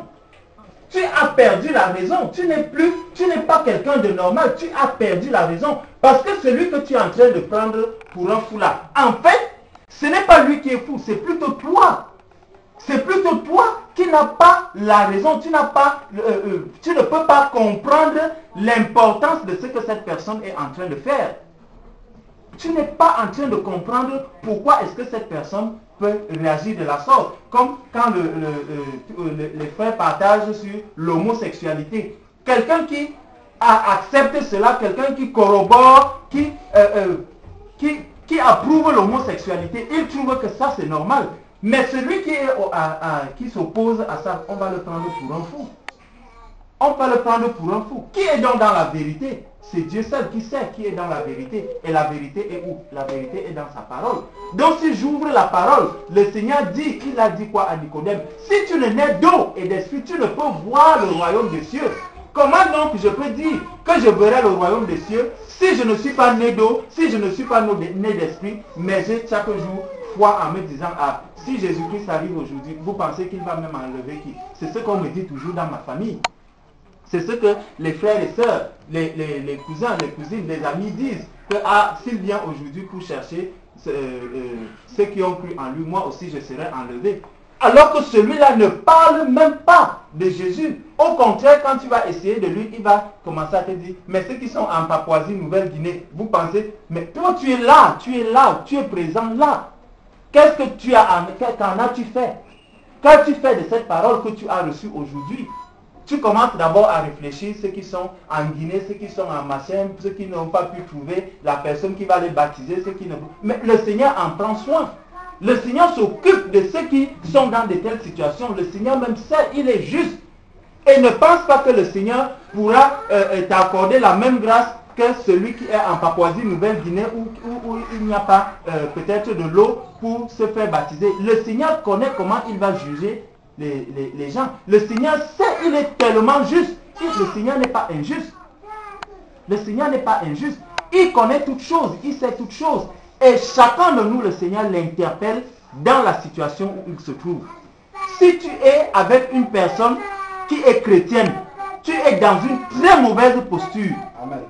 Tu es dans une très mauvaise posture. Parce que chaque jour, quand tu entends cette parole sortir, tu entends cette parole sortir, mon frère, tu n'es plus ignorant de la parole de Dieu. Tu n'es plus ignorant de la parole de Dieu. Le Seigneur sait que tu connais cette parole. Donc tu es comme quelqu'un qui la rejette et qui a renié le Seigneur. Ça, le jugement arrive, mon frère, tu es perdu. Il faut que chacun sache. Celui qui vit avec les païens, tu as passé toute ta vie avec des païens, tu es né dans une famille païenne, tu grandis avec des païens, la nature va t'enseigner. Mais tu n'auras peut-être pas eu la grâce d'entendre comment on partage véritablement la parole de Dieu. Le Seigneur, lorsqu'il va juger les personnes, tu auras un jugement rude par rapport à l'autre personne. Ça, c'est sûr, ne nous trompons pas là-dessus. Je peux avoir des amis, fréquenter des personnes, mais si ces personnes ne sont pas dans la même situation que moi, nous ne sommes pas, du tout pareils. Nous ne sommes pas du tout pareils. Donc, le Seigneur nous dit, ici, il nous fait comprendre que le parfum, si nous revenons ici, et elle lui essuya les pieds avec ses cheveux, et la maison fut remplie de l'odeur du parfum. Par la suite donc, un de ses disciples, Judas Iscariote, fils de Simon, celui qui devait le livrer, dit, pourquoi n'a-t-on pas vendu ce parfum 300 deniers pour les donner aux pauvres? Donc pendant que toi tu seras en train de chercher la vérité, pendant que tu seras en train, d'autres sont en train de penser des histoires du monde. Euh, lui, il pense aux pauvres. Quel pauvre de quel pauvre On te parle de Jésus. Toi, tu dis, vraiment, il faut que, quand même, même si je vais croire en Jésus, il faut que je puisse quand même préparer mon avenir. Il faut que je puisse. Quel avenir? Tu ne peux avoir l'avenir qu'en Jésus-Christ. Il n'y a aucun avenir. Si les bourses tombent, si les banques entières font faillite, qui suis-je? Un être humain.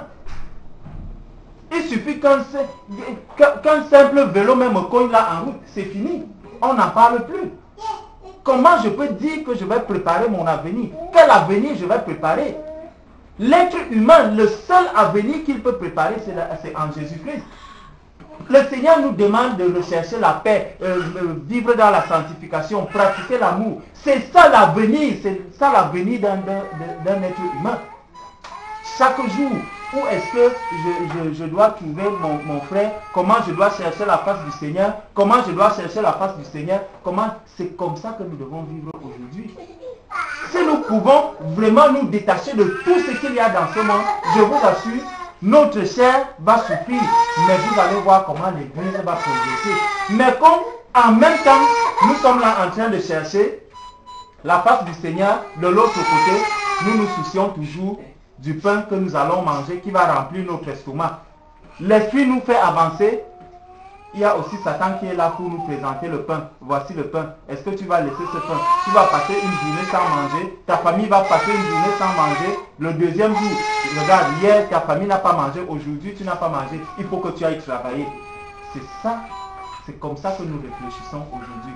Pourtant, si nous pouvions vraiment faire ce sacrifice, si nous pouvions vraiment être attentifs à la voix du Seigneur, écouter ce que le Seigneur nous dit, vraiment, je vous assure, mon frère, ma soeur, nous allons grandir dans le Seigneur.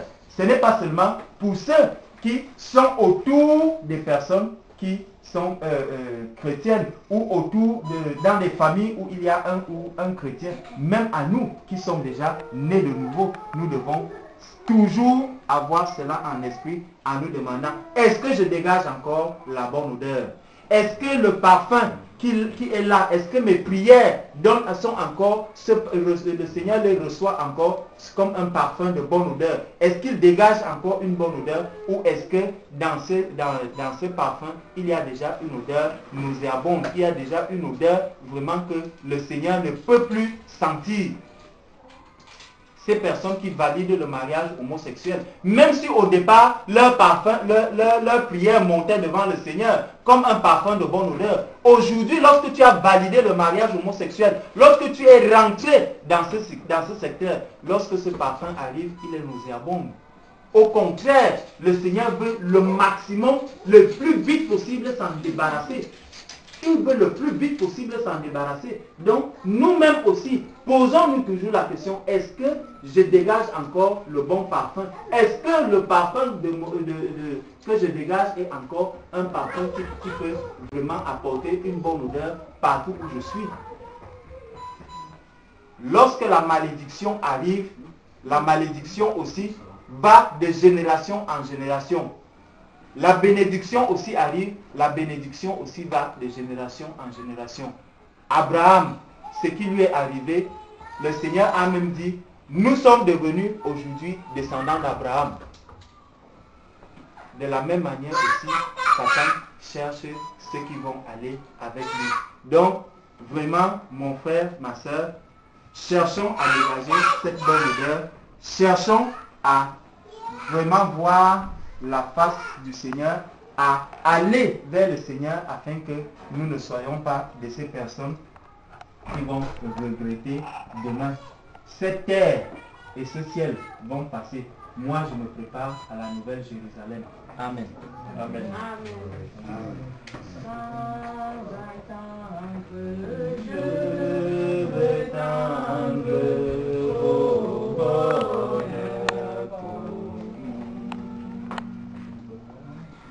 Qui s'élance, qui s'avance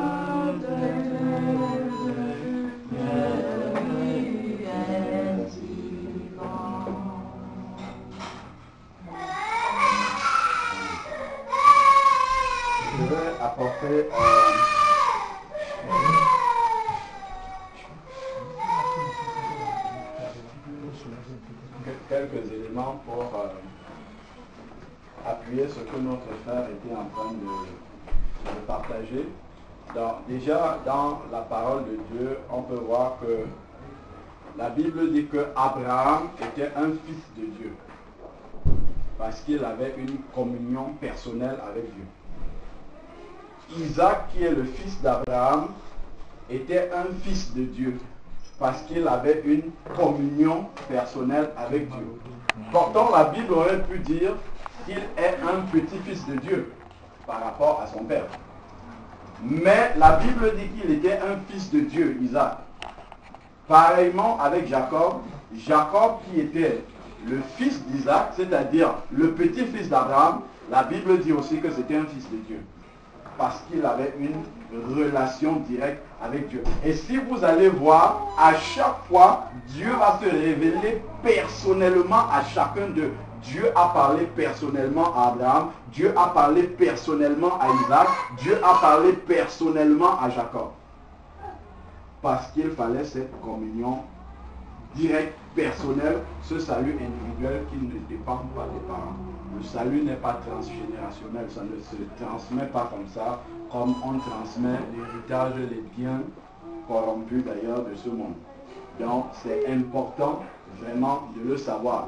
Donc quand le frère parle d'un parfum de bonne odeur, effectivement, quand il y a quelqu'un qui est converti dans une famille, la Bible dit quoi et tu seras sauvé, toi et ta famille. Ça ne veut pas dire que parce que je suis converti, automatiquement, parce que je suis converti, au moment de partir, le Seigneur va me dire, prends mes frères, prends tes frères avec toi, prends ta mère. Non, ça ne se passe pas comme ça. Quand il dit crois et tu seras sauvé, toi et ta famille, c'est que au milieu des ténèbres d'une famille, Dieu vient, il sauve une personne et cette personne devient la lumière de la famille.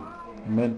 La personne va témoigner à la famille et c'est ça qui vous sert de lumière. Si vous suivez la lumière, ben vous serez dans la lumière, vous serez sauvé. Et si vous ne suivez pas la lumière, vous ne serez pas sauvé. On a deux cas comme ça dans la Bible. On a le cas de Noé. Noé a parlé à sa famille, sa famille l'a suivi, sa femme, ses enfants, ses belles-filles, tous ont été sauvés, les huit. On a maintenant l'autre cas, le cas de Lot également. À qui Dieu a annoncé le jugement, il a annoncé à sa famille, une partie seulement a été sauvée, lui et ses deux filles vierges. Sa femme a été à moitié sauvée et finalement même elle a été perdue parce qu'elle s'est retournée, elle était encore attachée à sa vie ancienne. Et ses autres filles qui étaient mariées dans Sodome et Gomorre, c'est-à-dire liées encore au péché, c'est l'image de notre famille qui ne veut pas se détacher en fait de la vie de ce monde pour recevoir le Seigneur dans, dans leur, euh, dans, leur vie. Ces, ces filles-là qui n'ont pas voulu sortir de Sodome ont péri avec Sodome. Malgré le fait que Lot était un serviteur de Dieu. Malgré le fait que Lot avait été averti par Dieu. Lot est parti avertir sa famille, mais ils n'ont pas écouté. ils n'ont pas été sauvés. Donc, vraiment, le parfum de bonne odeur que dégage un chrétien dans sa famille peut également être un parfum de mort pour les membres de sa famille. Un parfum de mort, pourquoi? Parce que la Bible dit, celui à qui on aura beaucoup donné, il lui sera beaucoup demandé. Moi, je le dis souvent à mes frères de sang. Vous avez une importante responsabilité devant Dieu parce que vous avez un frère qui connaît Dieu et qui vous parle de ça. Donc quand vous allez arriver devant Dieu, le frère dit, vous ne pourrez pas dire, moi on ne m'a pas parlé de ça. C'est maintenant que je découvre. Pas du tout. Dieu te dira, tu as passé la vie à entendre ce qu'il ce qu'il t'a dit. Si vous regardez dans Luc 16, l'histoire du riche et du pauvre Lazare, quand le riche se retrouve en enfer, il dit envoie Lazare sur la terre, dit à mes frères. Qu'est-ce qu'Abraham va lui dire? Abraham va lui dire, ils ont Moïse les prophètes. C'est-à-dire qu'ils ont des personnes qui leur annoncent la parole de Dieu. Et puis encore, quand tu as une personne dans ta propre famille, peut-être même quelqu'un avec qui tu as le même sang, qui te dit cette parole-là, mais c'est une parole de jugement en même temps. Pour que tu n'auras vraiment rien à dire devant le Seigneur. Et moi, je peux comprendre vraiment dans quel état le frère parlait tout à l'heure. À un moment donné, ça me semblait un peu dur. Je me dis, waouh, quelqu'un qui vient d'arriver, on lui parle du Seigneur comme ça. Non, tu ne viens pas d'arriver. Parce que maman te parle de ça depuis. C'est pour ça que le Seigneur, euh, euh, euh, comment dire, met là-bas au niveau où tu en es maintenant, aujourd'hui. On ne peut plus te dire, oh Johan, viens, viens, s'il te plaît, accepte le Seigneur. Non, on ne peut plus te dire ça. On doit te dire ça comme il faut. Parce qu'il y a un grand danger derrière le fait de rejeter. Et le Seigneur me l'a montré pour mes deux frères, mes deux frères de sang, mes deux grands frères. Le Seigneur me l'a montré brutalement, mais vraiment brutalement. C'est pour ça que quand j'ai commencé à, ça m'est revenu à l'esprit ce que le Seigneur m'a montré, j'ai dit, frère, si tu peux parler encore plus droitement, vraiment par rapport à ça, il ne faut pas jouer. Depuis que je suis converti, je parle à ma famille, certains connaissent ce songe-là, je l'ai raconté. Dernièrement, il y a euh, euh, quelques mois, le Seigneur m'a montré dans un, dans et il y a mes deux frères de sang, je suis le quatrième, les deux premiers. Il y avait une situation dans laquelle on a une cousine apparemment qui avait été assassinée. Ça, c'est dans le rêve. Dans la réalité, la sœur de cette cousine-là a vraiment été assassinée en 2006 au Canada. C'était une jeune fille de 18 ans qui a été assassinée par son copain de 19 ans. C'est arrivé à ma cousine. Assassinée comme ça, c'est passé à la télé dans les journaux, sur Internet et tout ça, je peux vous donner l'adresse, c'est ma cousine directe, nos mamans sont sœurs. Donc, dans le songe, le Seigneur me montre sa sœur à elle, qui est encore vivante aujourd'hui, je crois qu'il avait été assassiné, quelque chose comme ça. Et donc, mes deux frères de sang ont pris la direction d'un mouvement de revendication auprès de l'État pour qu'on reconnaisse ça et que justement, euh, euh, comment on, peut dire que vraiment le tort qui a été causé à ma famille soit reconnu et l'État a balayé sa nouvelle de la mort, on a dit c'est comme ça, vous n'avez rien à dire. Et j'entends, moi, j'entends mes frères dire, comme l'État ne veut pas nous entendre par rapport à ça, nous allons nous suicider. Pour envoyer un signal fort à l'État que ce que vous avez fait, ce n'est pas normal.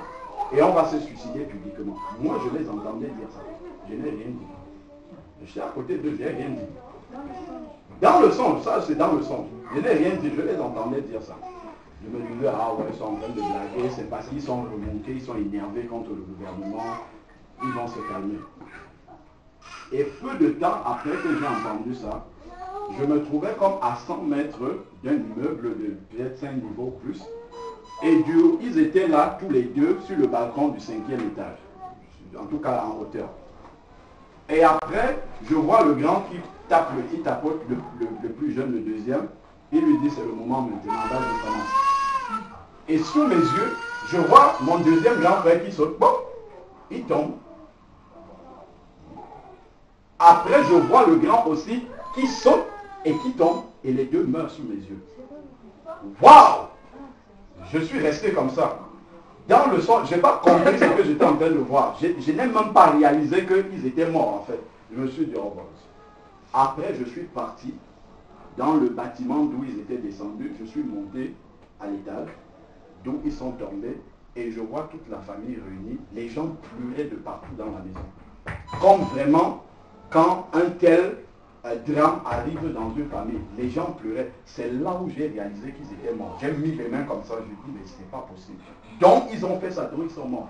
J'ai commencé à pleurer. Les gens étaient comme ça, je pleurais là, je m'asseyais à même le sol, je pleure, je pleure là-bas, je pleure. à gauche, partout où je m'asseyais, je, pleurais tellement à chaud de l'âme dans le son. Après, à un moment, mon épouse dans le son, je me déplaçais dans la pièce en pleurant elle me demande, mais pourquoi tu pleures autant?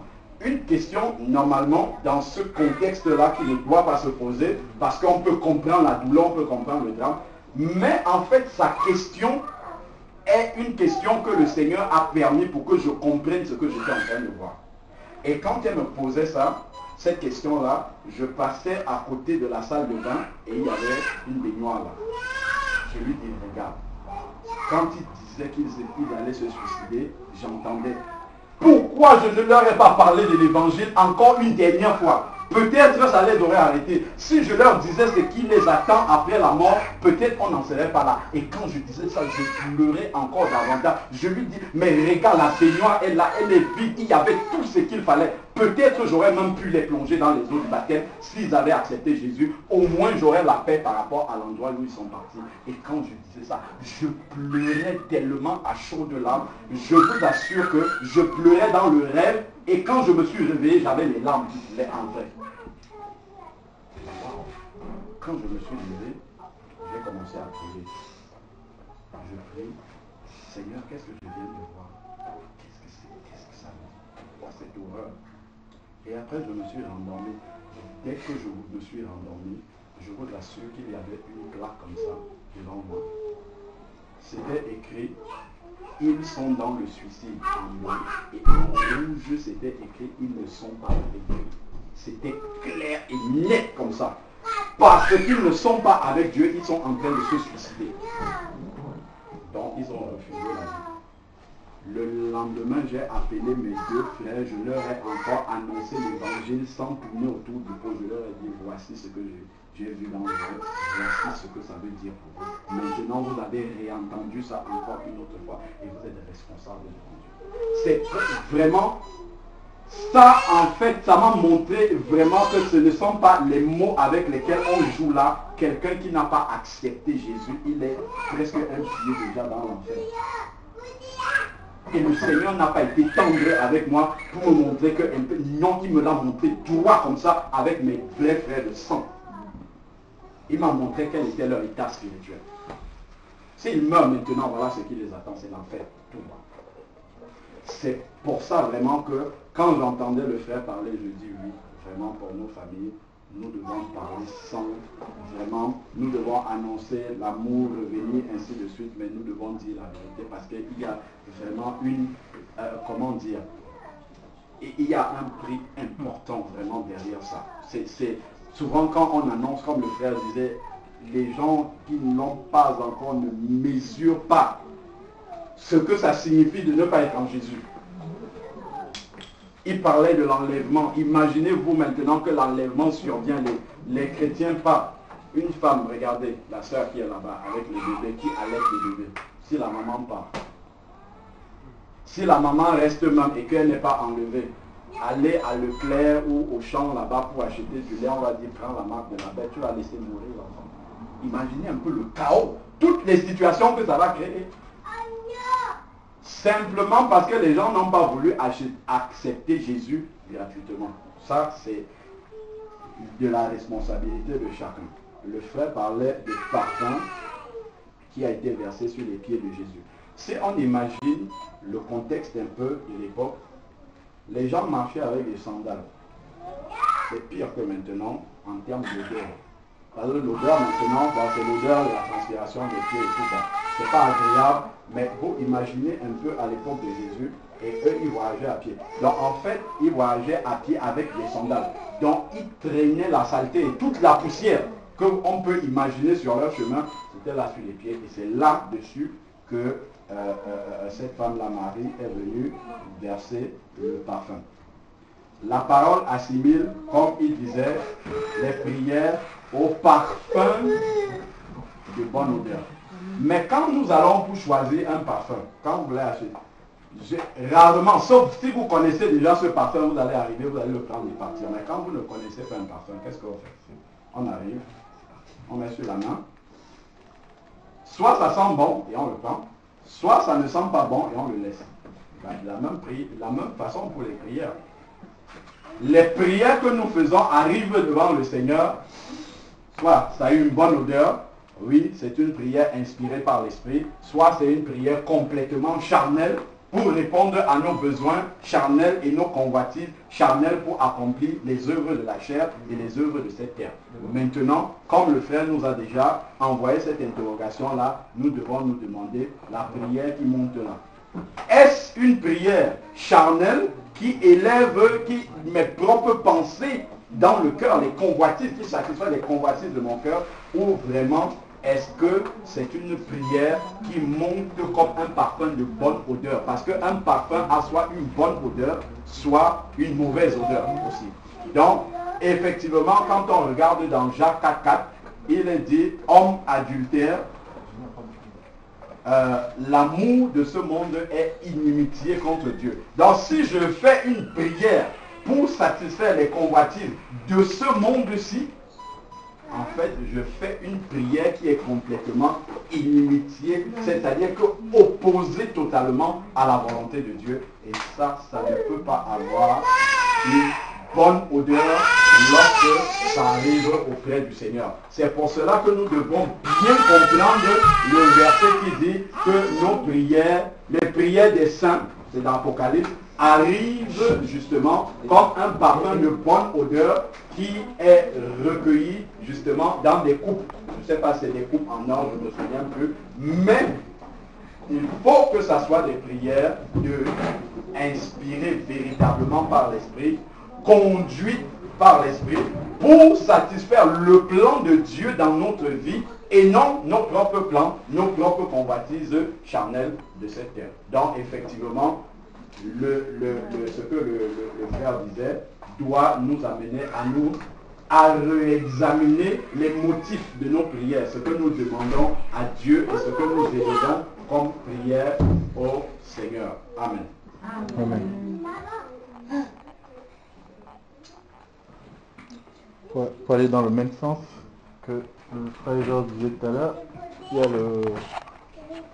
Il y a juste un petit texte à lire, c'est 2 Corinthiens 2, comme tu disais tout à l'heure, de vraiment se méfier, comment on connaît près d'un chrétien. C'est le 2, et ça va aussi dans le sens de ce que le frère, le frère a partagé.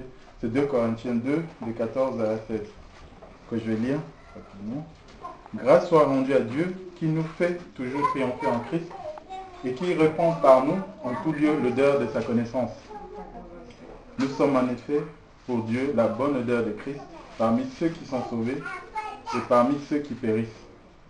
Aux uns une odeur de mort, donnant la mort, aux autres une odeur de vie, donnant la vie. Et qui est suffisant pour ces choses? Amen. C'est juste un texte pour, pour aller dans le même sens. Amen.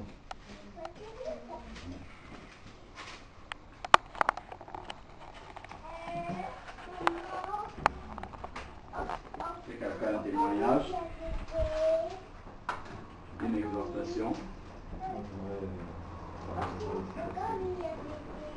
comme petit peu plus cette famille Une fois j'étais là, je parlais à ma soeur, je disais, c'est tout bête hein, ce que je disais, mais si tu, meurs ce soir ou demain,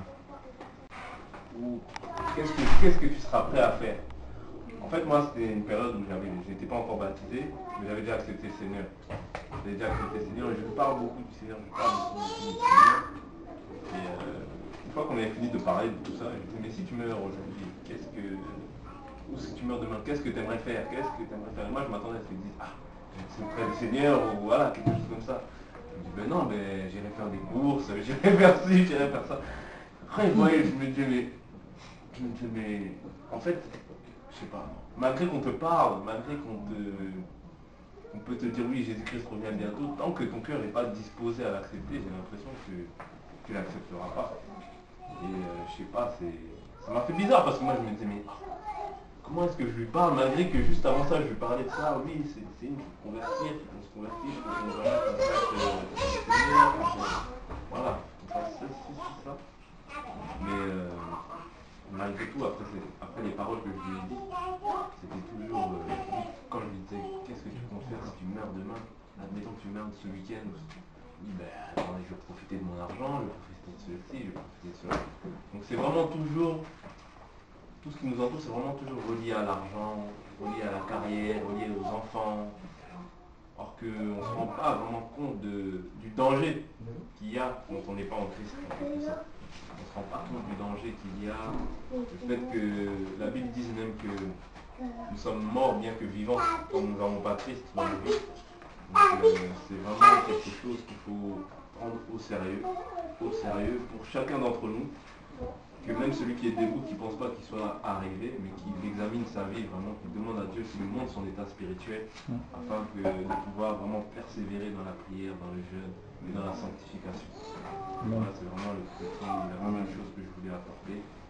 Et vraiment qu'on se focalise sur Christ, pas sur autre chose, parce que le monde dans lequel on est actuellement, vraiment, ça va de plus en plus mal et ça ira de plus en plus mal. Il ne faut pas croire que ça va que ça va rebasculer dans le bon sens, mais ça basculera toujours dans, le mauvais sens. C'est ce que la Bible nous dit d'ailleurs. Il faut vraiment qu'on prenne, qu'on fasse tous attention dans l'état dans lequel on se trouve. Vraiment confie notre vie au Seigneur afin que lui seul puisse nous finir. Voilà. Donc, euh, il voulait apporter. J'avais une question. Oui, une question. Je voulais savoir parce que la Bible nous dit aussi que nous sommes tous prédestinés avant que nous arrivions sur notre terre. Donc, euh, pour moi, quand j'ai lu par exemple Éphésiens 1, de 3 jusqu'à 4, et quand j'ai lu par exemple aussi Romains 8, de 28 à 30, donc, euh, souvent aussi Abraham qui n'est pas allé vers l'autre pour pas aller à l'autre, mais Abraham a fait un travail spirituel. Parce que c'est une confirmation de votre C'est qu'on fait l'esprit de Goliath derrière. Donc on n'ira pas discuter avec quelqu'un qui a l'esprit de Goliath qui nous Donc c'est qu'Abraham a fait que l'autre, il n'est pas allé voir l'autre puisqu'il avait la capacité d'aller pouvoir combattre, il avait les armées. Mais il est parti en prière avec la grâce que tu lui as donnée, comme il donne à tout moi je me dis, si nous sommes appelés, quel que soit sorte, même si la personne bonne, parce que regardez Marie de Madeleine, il n'y avait ni Pierre, ni Jean, ni qui avait intercédé pour Marie, qui allait même évangéliser Marie. Mais Marie, c'était une relation personnelle avec l'Esprit, qui était Dieu et Marie en ce temps-là. Parce que personne ne lui convainc à Marie son péché. Mais elle s'est sentie à l'instant où elle a rencontré Christ personnellement comme Paul. Il n'y avait eu personne qui, même malgré tout ce qu'on disait à Paul, Paul n'était pas repenti, lui qui était versé à l'écriture. Il s'était pas repenti, mais on a vu un instant qu'il a fallu une rencontre personnelle avec Christ, en fait qu'il se souvint du chuchotement que Dieu, parce qu'on avait aussi Moïse, quand il a travaillé par exemple depuis des années, des siècles, des siècles, mais quand Moïse s'est souvenu d'un chuchotement, c'est quand esprit, on a juste porté une enveloppe qui était le corps, afin de venir, c'est ça qu'il dira à Jérémie, avant tu allais juste avec qui tu étais. Donc ça veut dire que pour moi, je me dis, même quand ma mère, je ma mère, je me dis son heure viendra comme il viendra pour tout le monde. Parce qu'il dit, jusqu'au dernier, tout le monde rentrera, ceux qui sont appelés. Maintenant, ceux qui ne sont pas appelés, c'est lui qui fait ces choses. Il a fermé. Il ne va plus revenir ce qu'il a déjà fermé. Pour moi, c'est ma conception des choses un peu, je vois. Pourquoi? Parce qu'il a fait une fondation qu'il a fermée dès le commencement. La Bible nous dit, par exemple, dans l'Éphésiens 1, tu vas lire d'Éphésiens 1, 2, de 2 jusqu'au fin, de ceux qu'il a prédestinés, les a aussi appelés. Vois, donc ça veut dire que on n'a pas besoin de courir avec des armes parce que lui, il est vraiment le fondateur de toutes choses. Donc, ce qu'on doit faire, c'est juste interdire. S'il est appelé Dieu, parce que lui, on va être contre la volonté de que lui, ce qui a, celui qui, a, qui, est l'architecte qui a, qui a fondé toutes choses, parce que l'appel de quelqu'un, ce n'est pas euh, quelque chose qu'on va créer, c'est quelque chose qui est prédestiné. Ce n'est pas quelque chose qu'on va créer, là, ça va venir, non. Dieu a prédestiné ceci, c'est pas que moi je ne suis pas prise, de ces, candidats, je ne serais pas prise, même si je prier, Dieu a fermé, c'est comme ça. Moi je dis, si ma mère est appelée, comme il me dit souvent de prier, il me donne des versets, puis comme ça, que souvent il travaille avec des hommes comme il veut. On peut prier pour quelqu'un. Regarde comment Judas s'est repenti après. Il était parmi les douze. Parmi les douze, il s'est repenti après, parce qu'il n'était pas prédestiné. C'est pour ça que les douze que tu m'as donné, il a dit dans, Jean 17, de, de, tout ce que tu m'as donné, personne n'a sauf voilà, donc ceux qui sont appelés, peu importe, ils viendront parce que l'Esprit va les attirer comme Marie de Magdala, comme Paul, comme euh, David, comme euh, David qui était berger, qui était là, mais Saül est venu le voir parce qu'il était déjà le fils qui était prédestiné. Dieu pouvoir pour ses âmes parce que personne ne peut aider Dieu son, dans son œuvre. En fait, ce que moi je sais, la Bible me dit, il est l'architecte qui a tout accompli. Donc même si son enfant dans le trou, Regarde Paul qui était versé dans les Écritures, dans la loi. Il était fervent dans la loi, mais il ne savait pas qu'il était Mais Dieu connaissait son, destinée. C'est pour cela que quand il, a connu la vérité, mais Paul a vu tout ce qu'il a vu comme la boue. Et aujourd'hui, le voit comme euh, un cœur. Tu vois un peu? C'est ça, c'est ça. On avait juste à prier pour des hommes, ceux qui sont appelés gloire à Dieu, ceux qui ne sont pas appelés, gloire à Dieu aussi, parce que c'est lui, comme le frère a dit sur le verset, il a le verset que vous avez donné tout à l'heure. De Corinthiens 2. Lui, il, disait quoi avant Il y a ceux qui sont sur la, terre et ceux qui sont les lieux célestes. Parce qu'il y a deux peuples. Le peuple de la terre et le peuple céleste. Il y a qui sont Il y a ceux qui sont de la terre et ceux qui sont des lieux célestes. Donc euh, déjà pour moi, c'est pour ça que je ne trouve pas souvent, etc. Je prie pour quelqu'un, si je vois que c'est pas, je me dis que son nom n'est pas encore mais je continue à prier. Que Dieu nous donne la force pour qu'on y arrive. Parce que en continuant à prier, on verra au milieu. Parce que l'exception, c'est pas sûr que Dieu va nous recevoir. Si, bon, moi je vous dis, c'est pour moi, je vous dis, on va pas vous dire à quelqu'un, fais ceci, fais cela. Si sa chère lui dit, euh, son nom n'est pas encore arrivé, tu ne peux pas faire, vous allez vous bagarrer, hein. Oui, mais Dieu peut faire aussi grâce. Par exemple, si tu intercèdes pour une personne qui ne connaît pas Dieu, Dieu peut faire grâce, Dieu peut entendre ta prière et dire, bon voilà, j'ai entendu sa prière, je vais faire grâce. Par exemple, il y avait une dame, c'est une anecdote, qui était chrétienne. Elle était mariée, son mari n'était pas chrétien. Mais la dame, c'était une fervente de Dieu. Elle priait beaucoup, beaucoup, beaucoup. Mais son mari fumait, il faisait tout ce qui n'était pas bien. Mais comme Dieu voyait comment la dame s'acharnait devant lui pour son mari, il est venu en songe, il a dit à la dame, ton mari, il va, il va se, faire convertir. Mm. Un jour, le mari est tombé à cause de, du tabac dans l'estomac, il est porté à l'hôpital et puis quelques jours plus tard, les médecins ont dit qu'il est mort, il était décédé. Et sa femme est venue à l'hôpital. Il a dit, mais il a vu le cadavre devant lui, et puis il est parti. Il a dit, je reviens, vous faites rien, vous m'attendez. Il est parti dans sa chambre, il a prié, il a dit, Dieu, c'est parce que tu m'as dit. Tu m'as dit que mon mari, avant qu'il meure, il va être converti. Mais maintenant, il est mort. Et on a, on a dit que cette dame, il est rentré dans sa chambre, il a commencé à prier des heures et des heures et des heures. Et comme Dieu, il est fidèle, quand il dit une parole, il le fait. Et Dieu a entendu, comme il a fait la promesse à la dame, il a entendu la prière de la dame et il a ramené le mari à la vie. Et le mari, quand les médecins, ils étaient étonnés de voir que eux, ils ont constaté, ils ont décrété que le mari est mort et ils ont vu que le monsieur gigotait sous, le drap parce qu'il était déjà, déjà mort. Et la dame, quand il a vu ça, il est venu et puis bon, ils ont prié et puis le mari maintenant, il est converti, il est chrétien. C'est pour ça, si tu intercèdes, même si ce n'est pas question de destin, Dieu fait grâce, Dieu peut entendre même si l'autre personne est destinée, mais si tu intercèdes pour cette personne, Dieu peut avoir un regard favorable pour cette personne. À cause de quoi? À cause de ta prière qui est... Qui est, qui est, Je sais que celui était donc prédestiné, c'est ce que j'ai dit, parce que les prédestinés sont ceux qui sont appelés. J'ai vu. Est-ce que... Ah, je voulais, je voulais juste poser une question à ma soeur. Parce que ce verset, vraiment, je crois que c'est la semaine dernière où c'est passé qu'on avait partagé sur ce verset. La question que je vais te prendre la Bible, lis un peu Jean 3,16. Lis Jean 3,16.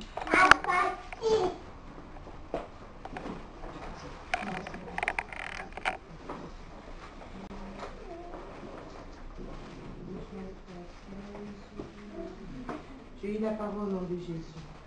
Car Dieu a tant aimé le monde qu'il a donné son Fils unique, afin que quiconque croit en lui ne périsse point, mais qui ait la vie éternelle. Amen.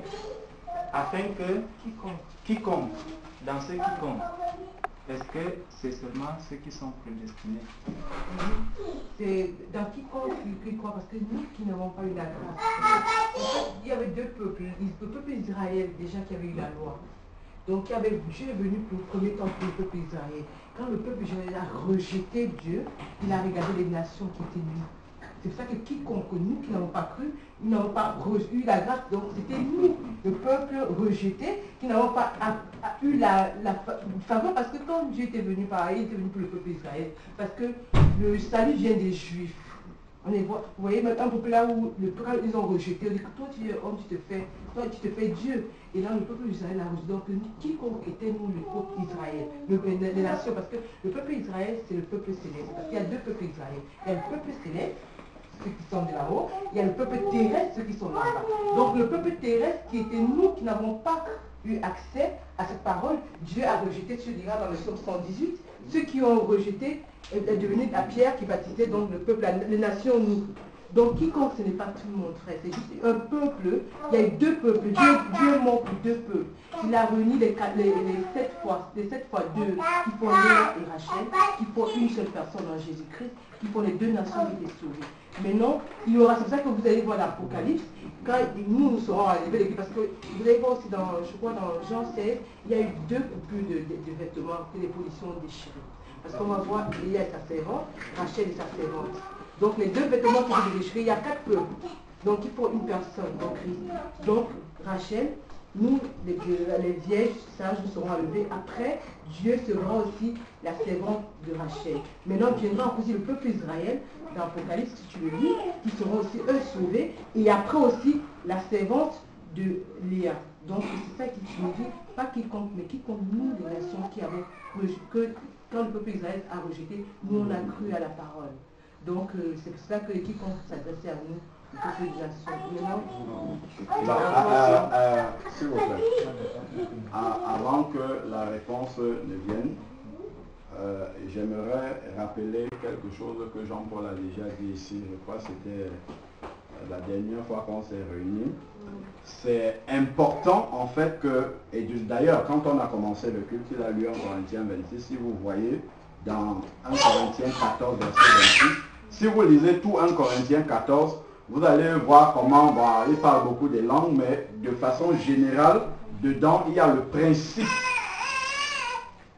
dont le culte doit se passer. Bon. En fait, ma soeur, ce que j'ai envie de dire, avant que la réponse n'arrive et que ça te satisfasse ou pas, en fait, il faut qu'on comprenne une chose. C'est que quand tu poses une question, il faut que tu attendes une réponse. Si tu as déjà ta réponse, ce n'est pas la peine de poser la question. Jean-Paul a déjà expliqué ça ici.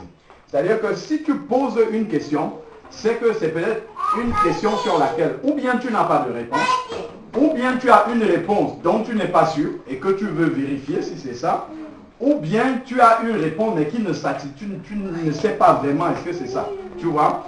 Donc quand tu poses ta question, tu laisses le frère aller jusqu'au bout, ceux qui veulent intervenir, tu notes peut-être des choses qui coincent avec ce que tu pensais. Après, tu vas dire, mais par rapport à votre réponse, il y a peut-être tel, tel, tel élément qui contredit la parole de Dieu. Tu vois? Mais c'est vrai que si vous continuez comme ça, en fait, ce n'est pas une question que tu as posée. C'est un sujet de débat, en fait, que tu as posé. Vous êtes en train de débattre. Ce qui. En fait, tu as dit, j'ai une question. Alors, si tu as une question, tu la poses. Et puis tu laisses, il y a une soeur qui est intervenue, il y a tous ceux qui veulent apporter. À la fin, maintenant, euh, peut-être l'un ou l'autre va demander, est-ce que vraiment tu as compris? Là, maintenant, tu vas dire, ah, par rapport à ce que vous dites là, moi, ça ne me convainc pas par rapport à tel, tel, tel. C'est juste vraiment dans le déroulement, la manière dont le culte doit se... Sinon après, ceux qui ne savent pas sont perdus, ne savent pas comment est-ce que ça marche dans l'église de maison et tout, donc on comprend plus finalement comment est-ce que ça se passe. Est-ce que tout le monde peut vraiment intervenir, parler, enseigner ou... Donc voilà. Non, je comprends, bien sûr. Ça, si c'était ça, j'aurais arrêté d'écouter. Donc c'est vraiment pour qu'on reste dans l'obéissance à la parole de Dieu. Donc attends que les frères donne des réponses et même s'il y en a qui ont des éléments comme elle, c'était par un témoignage qu'elle a répondu. S'il y en a qui veulent apporter des réponses, comme ça, après aussi, si tu veux qu'on écoute ce que tu, comment toi tu avais compris, et parce que ça aussi, ça peut être une question. C'est-à-dire que tu nous dis, bon, ça, ça peut être une autre formulation, et c'est différent. Là, tu as posé une question, tu as dit, j'ai une question. Tu aurais pu dire aussi, bon, il y a tel passage de la Bible que je comprends de telle manière. Est-ce que vous pensez que c'est ça qui est la bonne explication? Là, non, ce serait tu. On aurait écouté tout ce que tu as dit par rapport à comment tu comprends les choses. Et là, maintenant, nous, on va intervenir et dire, bon, ma soeur, tel, tel, tel point que tu as dit, ça, c'est pas conforme à la parole, ou bien ce que tu as compris, c'est valable. Donc, c'est juste pour que ça nous aide, nous tous, vraiment à savoir comment est-ce qu'on amène euh, les questions, les interventions, pour que ça édifie tout le monde et que tout le monde comprenne vraiment dans quel sens est-ce qu'on est en train de, partir Voilà, donc si vous voulez continuer à répondre, c'est bon. Non, moi j'avais un petit témoignage pour euh, suivre un peu la logique de la, sœur, euh, pour dire que Dieu fait grâce en fait. Hein. Et, puis, comme on dit, bah, il y a un prix à payer, hein, il y a un prix à payer pour nos familles moi, par exemple, euh, j'étais dans Internet pendant plus de 10 ans, 11 ans, j'étais euh, tenu captif par l'ennemi. Bon, c'est assez long, je ne vais pas donner le témoignage là, mais c'est juste pour dire que Dieu fait grâce. Et euh, par l'explication, les prières de ma famille, de ma maman notamment, bah, il a fait grâce et il m'a ramené à la lumière. Amen. Amen. Amen.